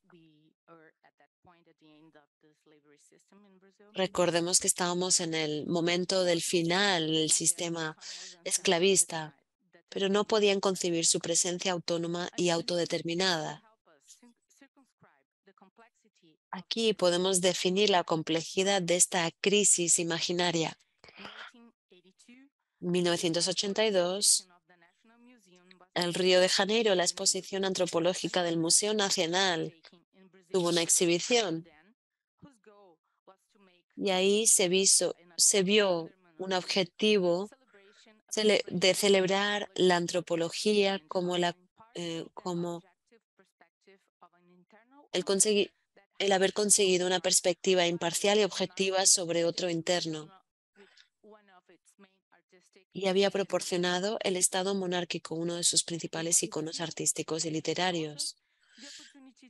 Era una oportunidad para valorar dado la evidencia material de la vida indígena, de su existencia concreta. Y aquí dicen eh, la utilidad del indio como representante de la nación moderna. En esta exposición, los pueblos indígenas estaban representados por artefactos, esqueletos, fotos, pinturas y modelos a escala real. Y lo pueden ver aquí en la imagen de la derecha. Y estos se veían en, eh, en, el Museo Nacional antes de que eh, se quemara. La imagen de la persona indígena era aquel de una persona primitiva, pero también una presencia incómoda en la realidad nacional. El choque entre estas dos posiciones construidas, la del fósil del pesado y la presencia real, estalló en las caricaturas de Ángelo Agustina, Agustini, que comentan la inversión operada. Aquí lo pueden ver en estas imágenes. El grupo de pueblos indígenas, probablemente del pueblo Kayapó, que fueron llevados desde Espíritu Santo para ser presentados en esta exposición. Fueron representados como antropófagos por el lápiz del caricaturista y puede ver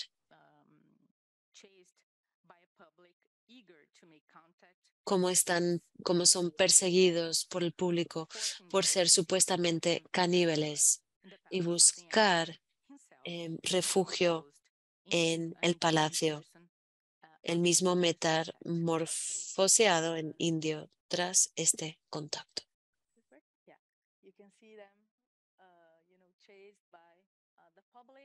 Puede ver cómo el público está corriendo tras de ellos y se reúnen con Pedro II y transformándolo a un, en un líder indígena el príncipe indígena que vimos aquí y que yo definí de manera esquemática en un régimen naturalista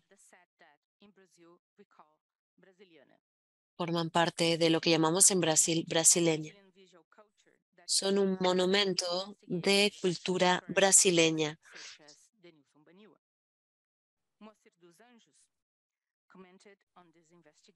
Moacir dos Anjos comentó esta investigación definiendo este interés como una forma de excavar en imágenes de siglos pasados que tematizan a Brasil. Este equipo de Brasil muestra la violencia que formó y constituyó al país. Y esto transformó, persistió hasta el día de hoy. La violencia contra los pueblos indígenas que habitaban las tierras invadidas por los europeos y en contra de los negros traídos a la fuerza desde África y esclavizados en Brasil. Still according to Anjos, is related to the fact that the, La atención de estos artistas a la brasiliana siempre, según los Anjos, está relacionado con el hecho de este movimiento imaginario que desvela un lugar dividido, radicalmente desigual en cuanto al acceso de los cuerpos blancos y no blancos tenían a una existencia autónoma y protegida. En la eh, percepción contemporánea de estas imágenes, vemos la deshumanización de los cuerpos racializados que presentan y quitan importancia a la violencia implicada en la formación de la nación brasileña, así como la continua resistencia de estos mismos cuerpos a su proceso de dominación. Más que las imágenes de sí mismas, la reacción contemporánea a ellas elabora la normalización de la mirada naturalista y su presencia reiterada en la cultura visual brasileña es una represión del trauma colonial. Se ve en los libros, textos de historia, películas, telenovelas, anuncios, sellos, postales, carteles de los hoteles, como este en el que tomé una foto en 2022, este año. Y que también eh, se mencionó anteriormente. La repetición de estas imágenes y su naturalización en la cultura visual brasileña se refiere a la permanencia de las estructuras coloniales actualmente. Denis Baniwa eh, usa estas imágenes realizando una operación que, él llama borrado. No, no se puede eh, traducir exactamente, pero el término evoca la noción de borrar. Lo que se borra a sí mismo mientras permanece visible se destruye a sí mismo mientras se da a ver. Es un juego doble que borra ciertas partes decisivas. Derrida se refiere al texto, pero podemos decir lo mismo de las imágenes y podemos ver y leer lo que borra.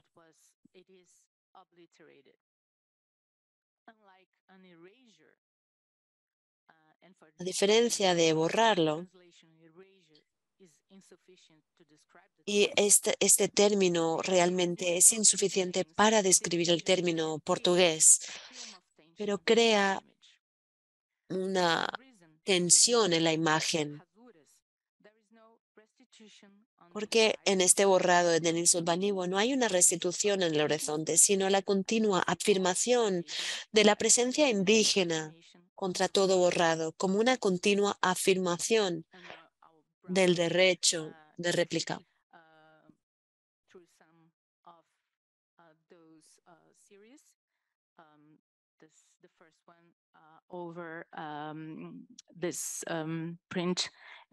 Aquí eh, vemos esta imagen este libro. Se llama Todos son personas. Y ahí dice, aquí mi hijo es su tío.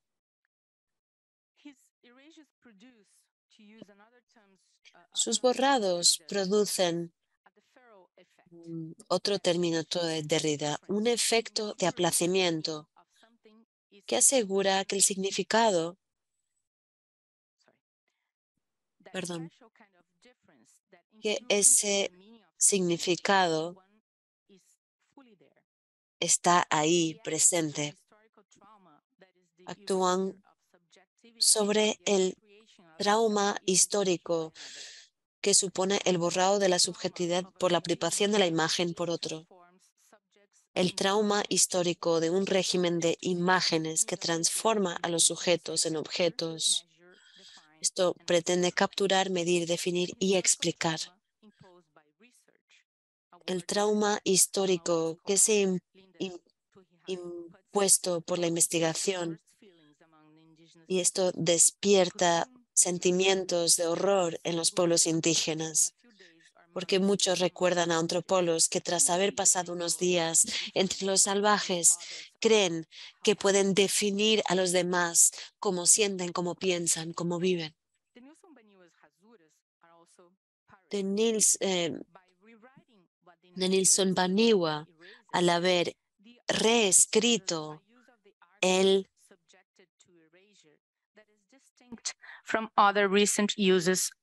al reescribir estas escrituras, el artista propone el uso de archivo sometido a borrado que distingue de otros el archivo de arte contemporáneo. A diferencia de lo que detecta, Baniwa trabaja con un archivo omnipresente, cuyo estatus de verdad, aunque incesantemente cuestionado, se cierne como simulacro y punto de vista en la relación de la sociedad no indígena con la indígena. Para el artista, este archivo es eh, como lo que podríamos llamar tomando también prestado a Hal Foster de Franz Fanon, una escena primaria de imposición de la realidad y que priva a la persona racializada de resistencia en los ojos del blanco. En el mundo blanco, la persona de color es difícil que pueda elaborar su esquema corporal. En este mundo, para una persona de color, el conocimiento del cuerpo es una actividad puramente negativa. Es un conocimiento de la tercera persona. En la formación de su percepción, no solo operan sus propios residuos de sensaciones y percepciones de orden táctil, vestibular, cinestético o visual, sino que teje para esta persona de color miles de detalles, anécdotas, historias. Y aquí eh, dijo, fui a la vez responsable de mi cuerpo, mi raza y mis ancestros. Atravesé a mí mismo con una mirada objetiva, describí, descubrí mi negritud, mis rasgos étnicos y vi los tímpanos con antropofobia, el retraso mental, el fetichismo, la cizaña racial, los negros y sobre todo lo más, y bombañá. El contenido de sus, de borrarlo, es la ironía, la parodia y rechazar los mensajes de posiciones antagónicas o disolventes. Su procedimiento es también un paralelismo. Enmarca al enmarcador mientras enmarca al otro en un ejercicio que es también antropología inversa.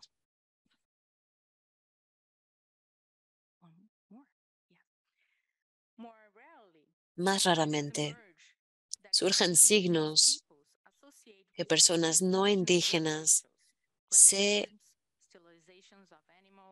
se asocian con ciertos referentes indígenas, grafismos humanos y no humanos, y que suponen que son escrituras específicas del artista o de sus tradiciones a lo que tiene acceso para destrifar. A propósito, el artista no traduce estos signos para los que no son indígenas, solo para aquellas personas interesadas en conocer sus referencias. Sabrán que está mostrando libremente las pictografías del Alto Río Negro. Pretende responder el uso de estas imágenes en la historia del país lo que ese uso ha permitido y promovido. Pero no es a Debret o a Rugendas a quienes Baniwa imputa la violencia, de la sociedad brasileña, sino a personas como yo, no indígenas blancas, que consumen estas imágenes como un retrato real y naturalizado de esta nuestra sociedad. Nosotros tomamos estas imágenes como documento, como realidad, para no evitar, naturalizar y reiterar los privilegios, desigualdades, deshumanizaciones y el abuso. Estos, em, al borrar, eh, esto es un rechazo a reducirse a estas imágenes, sabiendo que está hecho de ellas. Y también es una llamada para que otras personas de otra raza se vean ah, de otra manera. Y terminaré con esta imagen de, de Nilsson Paniwa, que quiere decir todos somos personas. Y va junto a esa primera imagen que les enseñé. Mis abuelos dicen que en tiempos antiguos, antes que yo, tú y cualquier Homo sapiens y cualquiera que dominaba el planeta, todos eran personas. Había personas, personas eh, que eran árboles, personas que eran piedras, personas que eran árboles. Todos hablábamos el mismo idioma y el tiempo era diferente. No había relojes y no había alarmas. El trabajo no era un trabajo para acumular, sino una actividad. Era una época que ni mis abuelos, pero es una época antes del tiempo pasado. No conocíamos, ahora no conocemos el lenguaje de los ríos, de los árboles, de los pájaros. No entendemos, no nos entendemos ni con nuestros vecinos o residentes de este mismo planeta.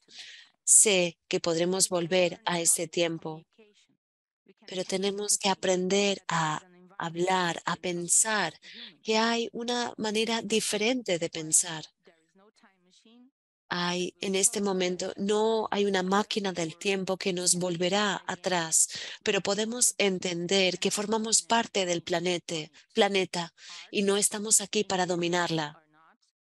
Arte indígena o no indígena, tiene que ser una manera de traducir, traducir las voces de las piedras, del bosque, de los ríos y todos los seres vivos. El arte indígena tiene que ser una manera de entender y esto traduce los ancestros con la plasticidad del mundo moderno. Los artistas indígenas pueden ser una manera de compartir voces, incluso aquellas de las que ya no nos acordamos. Esto es lo que nos unió. Esto nos une. Es la conexión entre el mundo ancestral y el mundo moderno. Muchas gracias.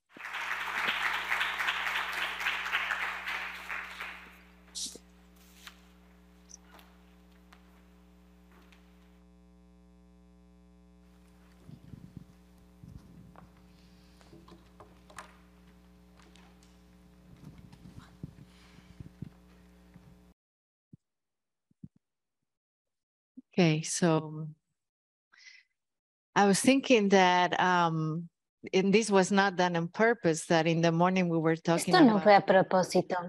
En la mañana hablamos sobre la repetición, la construcción y en la tarde estamos hablando sobre cómo borrar. Y esas son tres palabras que están aunadas a la exposición. Cuando pensaba en el título de eh, la exposición me pregunté, ¿qué hacen estas imágenes? ¿Cuáles son los verbos que se vinculan a estas imágenes? Y se me hace muy interesante ver que estos temas surgieron durante el, simposio como un hilo común entre todas las presentaciones. Quisiera hablar sobre su presentación y la importancia de la etimología. Usted habló sobre el significado de las palabras, de dónde vienen, qué significan y su importancia. Por tanto, le quisiera preguntar más sobre eso. Hoy en día somos muy conscientes del significado de esas palabras. No sé si en ese entonces se, entendía del todo el significado de las palabras. Quisiera ahondar un poco más en el tema de la etimología y su importancia en, esta exposición y cuál es su relevancia hoy en día. Lo intentaré, intentaré responder porque es una pregunta difícil. Sí, lo sé. Sí, porque las palabras están vivas.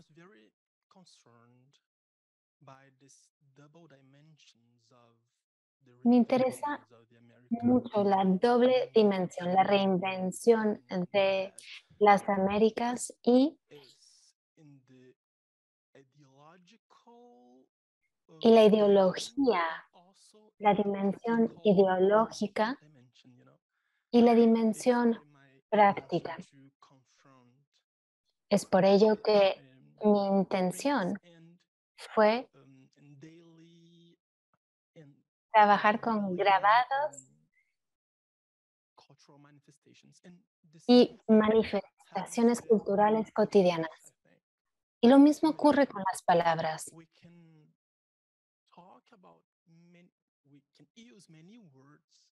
Podemos utilizar muchas palabras. Y una palabra puede tener un uso concreto y a su vez puede ocultar significados que hemos olvidado, porque no siempre la asociamos con su sentido más profundo.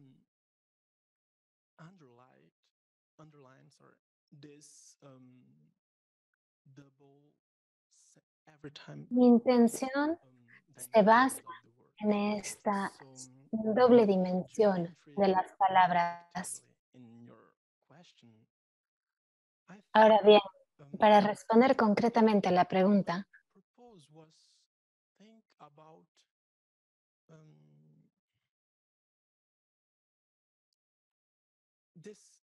mi intención fue pensar en ejemplos de manifestaciones públicas de las palabras. Por, ejemplo, si queremos utilizar una palabra para describir un evento, algo ocurre. Si las palabras tienen sentido, si tienen el mismo significado, algo tiene que cambiar. Mi intención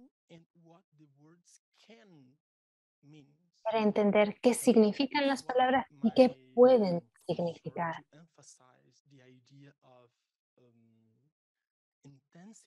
Por eso decidí enfatizar la intensidad, la fuerza, la violencia.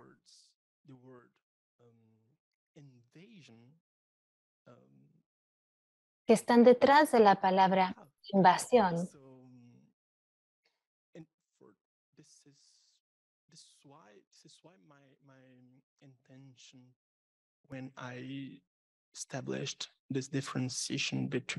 Cuando establecí la diferencia entre invasión y descubrimiento, porque descubrimiento es un eufemismo. eufemismo que surge de un proyecto colonial. Hoy en día, ese eufemismo aún nos afecta. No sé si eso responde a, la pregunta. Sí, e, e, está perfecto. También pienso sobre la idea de el poder, la dominación. Y cuando miramos esta imagen que tenemos aquí,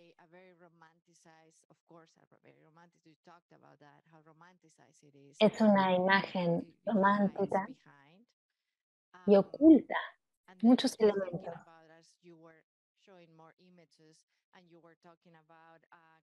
me mostró más imágenes y habló de Catarina. Esa también es una imagen romántica y luego pensando en la idea de mestizaje y cómo el mestizaje oculta la diferencia. Y este es un tema muy amplio, un, tema que se ha debatido mucho en México cuando se habla del mestizaje. Se olvida también de los pueblos indígenas. Borra un grupo de personas.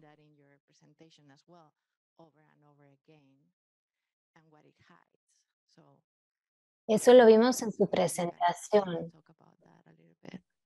Quizás los dos pueden hablar un poco de eso.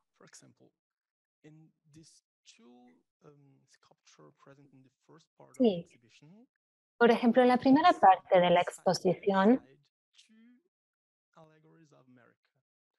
podemos ver dos alegorías de América. Una de ellas es más negra y la otra es mucho más blanca.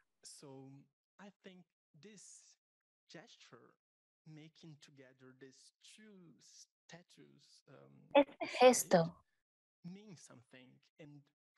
que reúne estas esculturas tiene un significado y motiva este tipo de debates y discusiones sobre lo que se oculta, las, los trazos culturales que se ocultan.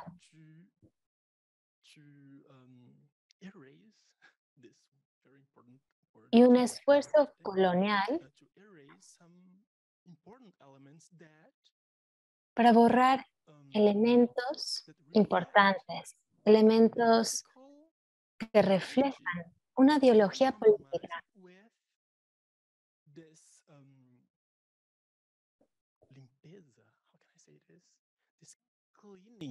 this cleaning of um, cultural elements starting by this Una limpieza de elementos culturales, una depuración de esos elementos culturales. Considero que la presentación de Renato tocó el tema. Habló sobre la resignificación del proceso de mestizaje.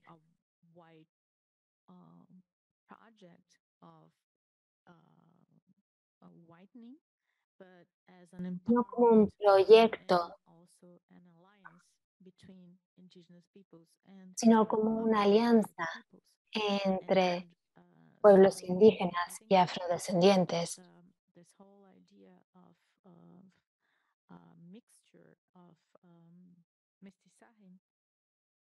El concepto del mestizaje como una mezcla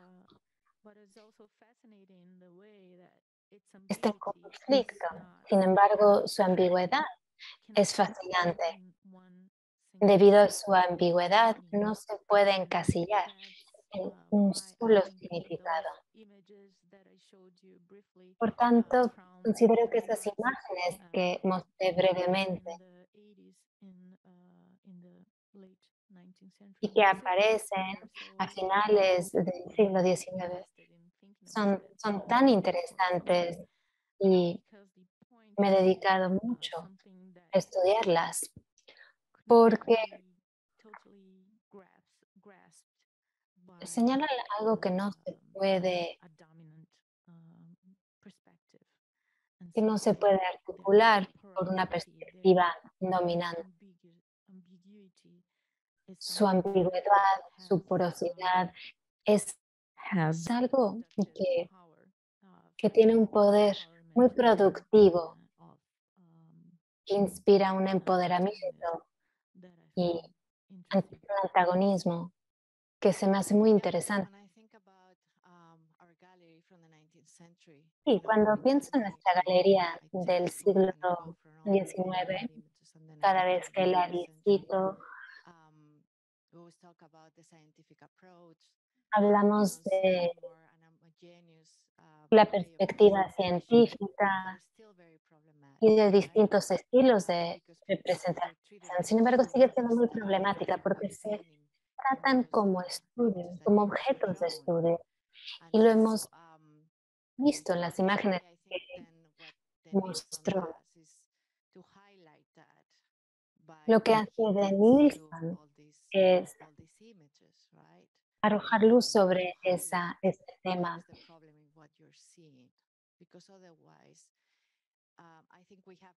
Sus obras nos ayudan a ver esos dos problemas.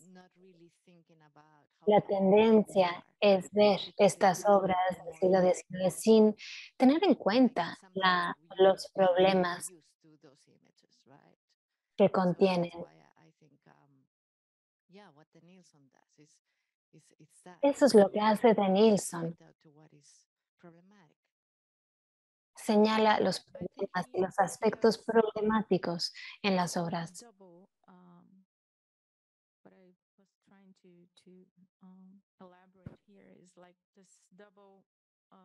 Sí. Un, un objetivo, una meta doble en su trabajo. Una es destacar los problemas desde una perspectiva específica.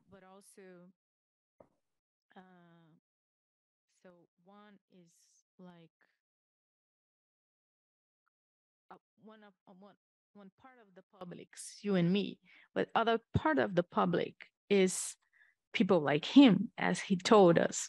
And Como lo uh, dijo, hay grupos como yo, y también hay grupos como él. Y ese doble sentido es algo que me fascina de su trabajo.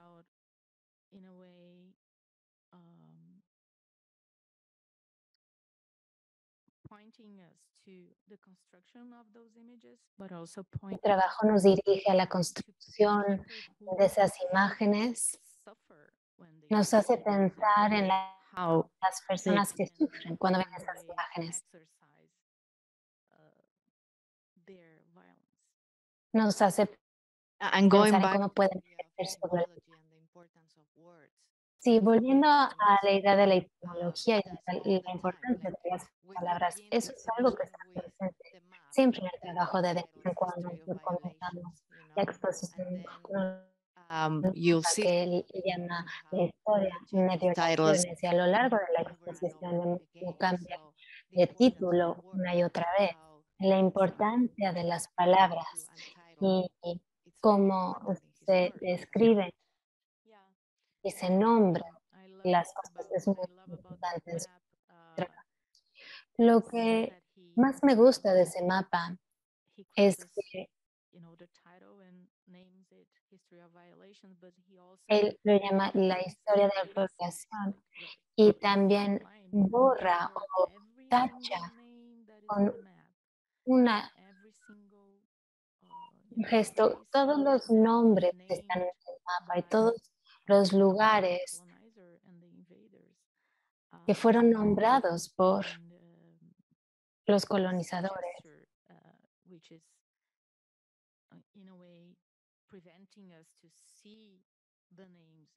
Es un gesto que no nos permite ver los nombres en el mapa y al mismo tiempo resalta el hecho que son nombres de colonizadores.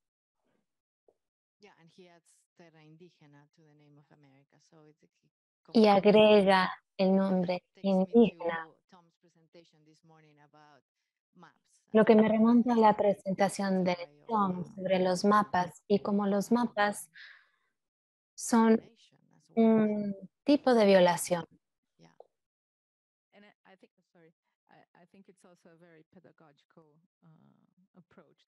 También es un enfoque muy pedagógico, su forma de trabajar con las imágenes.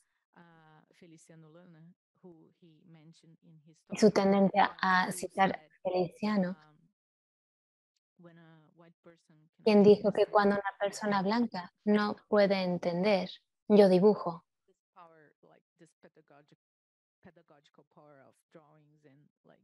Se refiere al poder pedagógico de los dibujos y cómo se puede visibilizar un mensaje mediante las imágenes.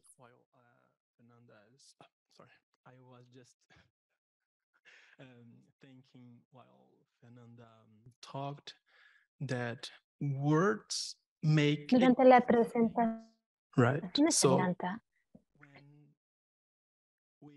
me surgió la idea de que las palabras crean cosas, cosas que existen.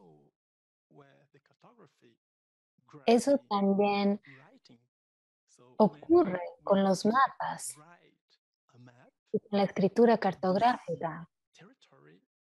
Cuando se dibuja un mapa, ese territorio existe. Es como una traducción.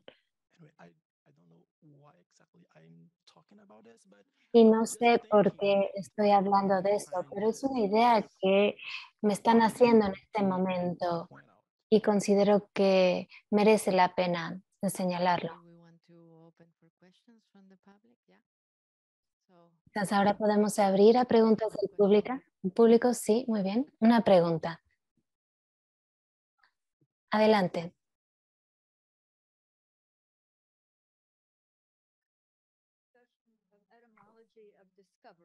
La pregunta es sobre la etimología eh, de la palabra descubrimiento, porque la palabra descubrimiento, la palabra invención, están estrechamente relacionadas. Se, se re- refiere a la búsqueda de un tema, de un argumento, y hay- se puede utilizar en mecanismos de memoria para recordar, por ejemplo, cuando las culturas eran mucho más prominentes de lo que son ahora.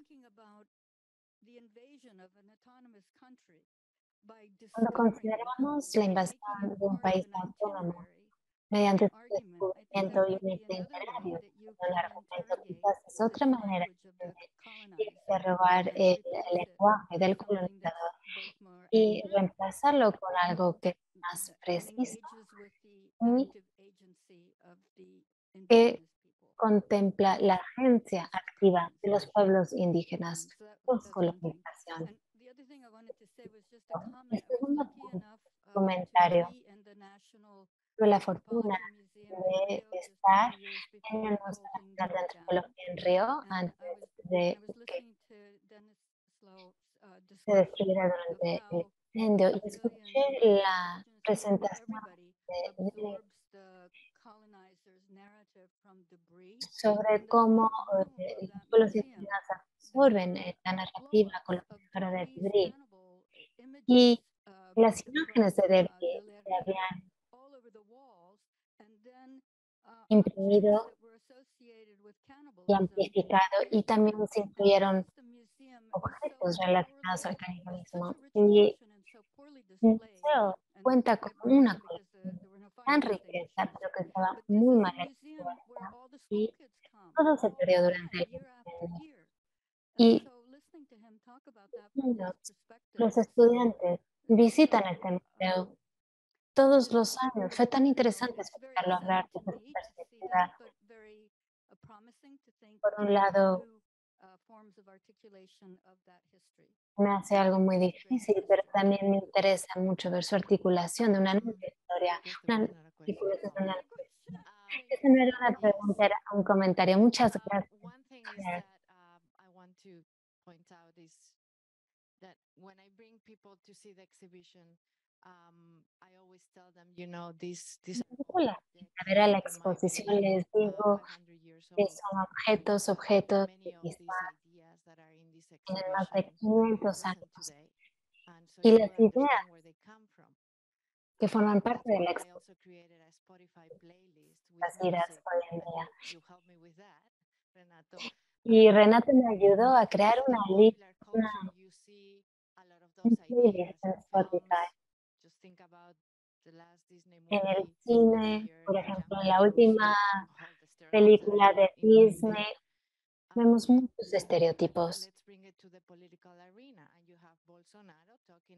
Y también en el ámbito político vemos a Bolsonaro hablando de pueblos indígenas hoy en día. Por eso estamos hablando de estas conversaciones. Interesa entender surgen estas ideas, cómo se manifiestan y por qué es se reproducen. El significado cambia según el contexto. Y el contexto en Brasil contexto muy particular. Muchos ejemplos de continuidad.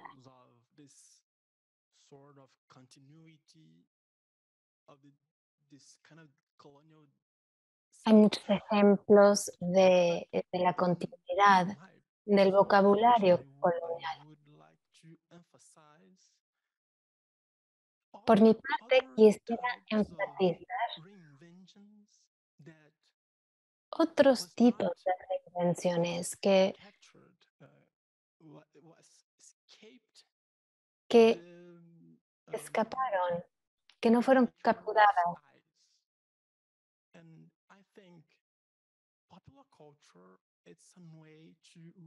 Creo que la cultura popular puede reinventar todos los días.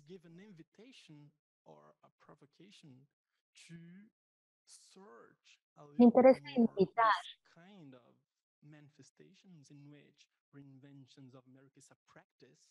este tipo de manifestaciones como una práctica, no tanto como una teoría.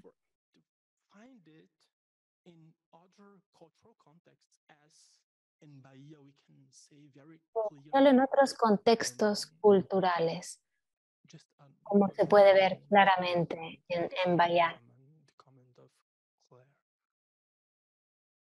Es, es, un comentario como respuesta al comentario de Claire.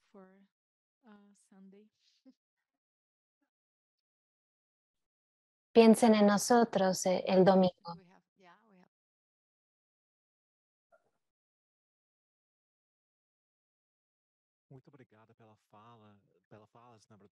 Achei muito incrível, tipo, as análises que vocês propuseram.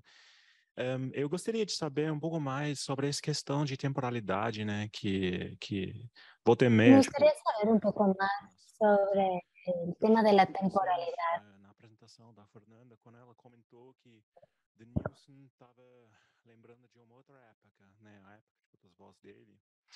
E ele falou que esse tempo não existe mais, não tem uma máquina do tempo para voltar para esse para esse época. Mas eu fiquei pensando, e talvez seja uma impressão só minha, mas eu pensei que, de algum jeito, a, né, Fernanda, você fez uma análise muito detalhada sobre essa questão de rasura, que a rasura que ele propõe, de algum jeito, propõe um tipo de time travel, de algum jeito. Tem uma ruptura de temporalidade que está pressuposta dentro desse gesto né, que o artista faz. E eu gostaria de saber um pouco mais, eu fiquei curioso, né, ouvir vocês, sobre essa questão de temporalidade, no sentido que talvez o trabalho do Denilson, o aspecto dele mais anticolonial, é o jeito que ele propõe uma ruptura na linearidade de, de tempo, né? o jeito que a gente entende uh, noções como progresso, desenvolvimento, uh, modernismo, etc.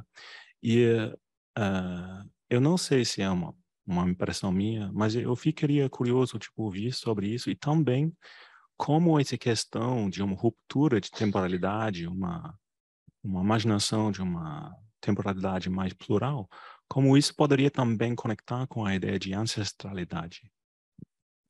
Alex, can you translate yourself briefly? Because they, they don't have the translation, Oh, I think. sorry, I, I thought the translation was Alex podría traducirse brevemente. Sí, me interesa mucho la pregunta de temporalidad. Considero que el proyecto colonial eh, considera una línea del tiempo lineal, sabe la redundancia. Me interesa mucho hablar más sobre la temporalidad, si está de acuerdo o no, y, y si piensa que esto se conecta con temas de ancestralidad.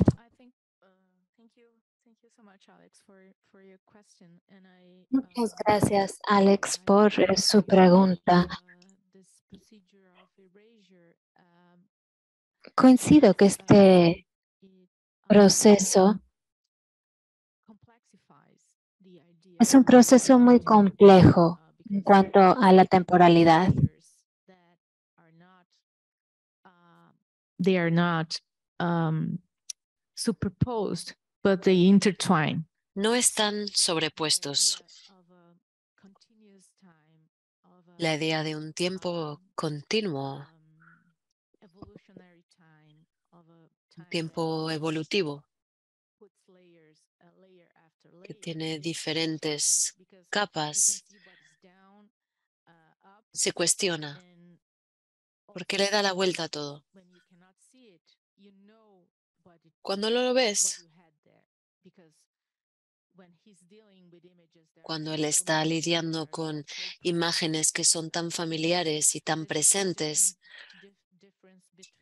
esto es la diferencia entre otros artistas que están lidiando con material de los archivos. Él está lidiando con archivos que forma parte de nuestra cultura visual, está omnipresente en la cultura. Entonces sabes lo que está en las imágenes y él está señalando no a lo que falta o lo que esté mal escrito, pero el hecho de que tú conoces esas imágenes y cuando él borra, cuando él cambia estas imágenes, está añadiendo capas, capas que le permiten ver lo que hay bajo la superficie. Esto conecta con la idea de una que no va solo en una dirección, pero que va y vuelve y tiene muchas, eh, tiene diferentes capas.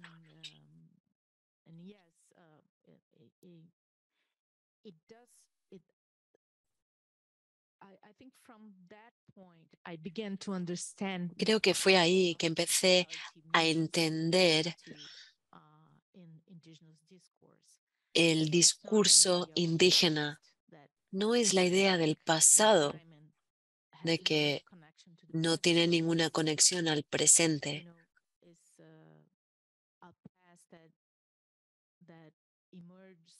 Es un pasado que emerge, que, sale en el presente y podemos eh, sentirnos conectados a la idea del momento, como dice el artista, de peligro en el que la verdad sale.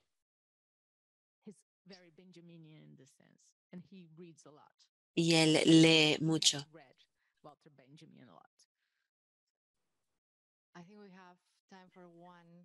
Creo que tenemos tiempo para una pregunta más.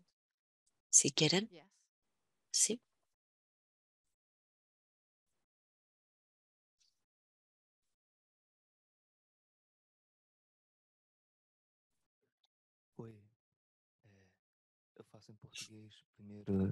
Depois tá. É, pô, gente, valeu, muito lindas as falas, obrigado. Não, eu só queria perguntar ainda sobre ahm, essa complexidade temporal e sobre ahm, essa, essa forma de presença que inclui múltiplas temporalidades. O que que vocês acham, se essa é uma pergunta possível, que esses trabalhos dizem sobre o futuro? ¿Y qué cree usted sobre estas piezas de arte que dicen? ¿Quiere traducir esta pregunta? ¿Lo puede traducir usted si quiere? Um, uh, quería preguntar con respecto a la complejidad presente de muchos pasados. Estaba hablando de una presencia que no solo tiene el presente, pero también incluye el pasado. Con respecto a eso, tal vez puede pensar en qué dirán sobre el futuro.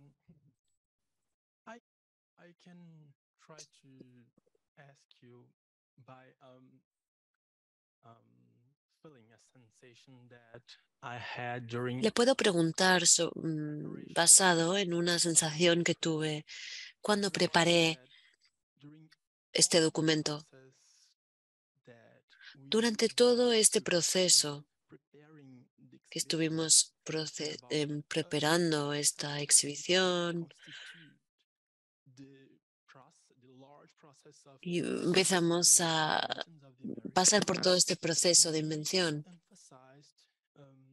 Enfatizamos muchas veces el sufrimiento, el asesinato, las em, violencia, las violaciones. Hablábamos de un tiempo que parecía el fin. En mi presentación traté de pensar en el momento de todos los que sobrevivieron.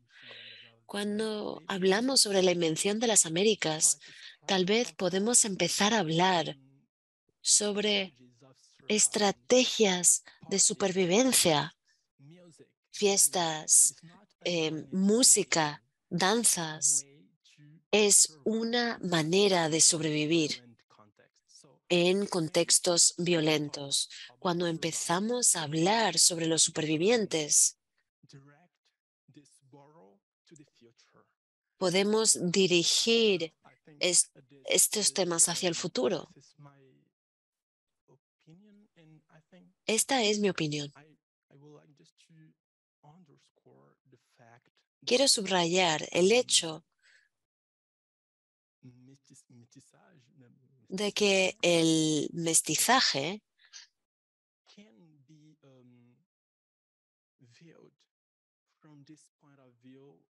se puede mirar como desde un punto de vista de borrar, pero si cambiamos el punto de vista un poco, como nos enseñaron esta mañana, tal vez podemos encontrar estrategias, estrategias para sobrevivir, para ver diferentes maneras de vida y de vivir. Me gustaría añadir, eh, añadir algo. Cuando hablamos con Anilson sobre su proyecto para la exposición, esto al final no se incluyó em, porque era muy complejo, pero pensó en, su en sus intervenciones como, por ejemplo, cuando salía el sol o en mitad del día, mediodía, y que es tan fuerte el sol que no puede uno ver, y luego cuando el sol se cae. La manera en la que habló de esta intervención fue así, los diferentes momentos del día. Y cuando hablé con él para este tour de audio que, que grabamos, habló también sobre eso, los diferentes días, los diferentes momentos del día, perdón, y relacionando eso a diferentes momentos históricos. Por ejemplo, cuando pasó la colonización era un momento de oscuridad, no teníamos luz. Y él dice, al final de nuestra conversación, dice, nosotros estamos en otra época, estamos empezando a ver la luz. Si a mí me preguntas qué pienso yo sobre qué piensa él del futuro, diría que él piensa que estamos en un momento diferente y hay una posibilidad de que puede haber luz. Vamos a terminar ahí. Muchas gracias.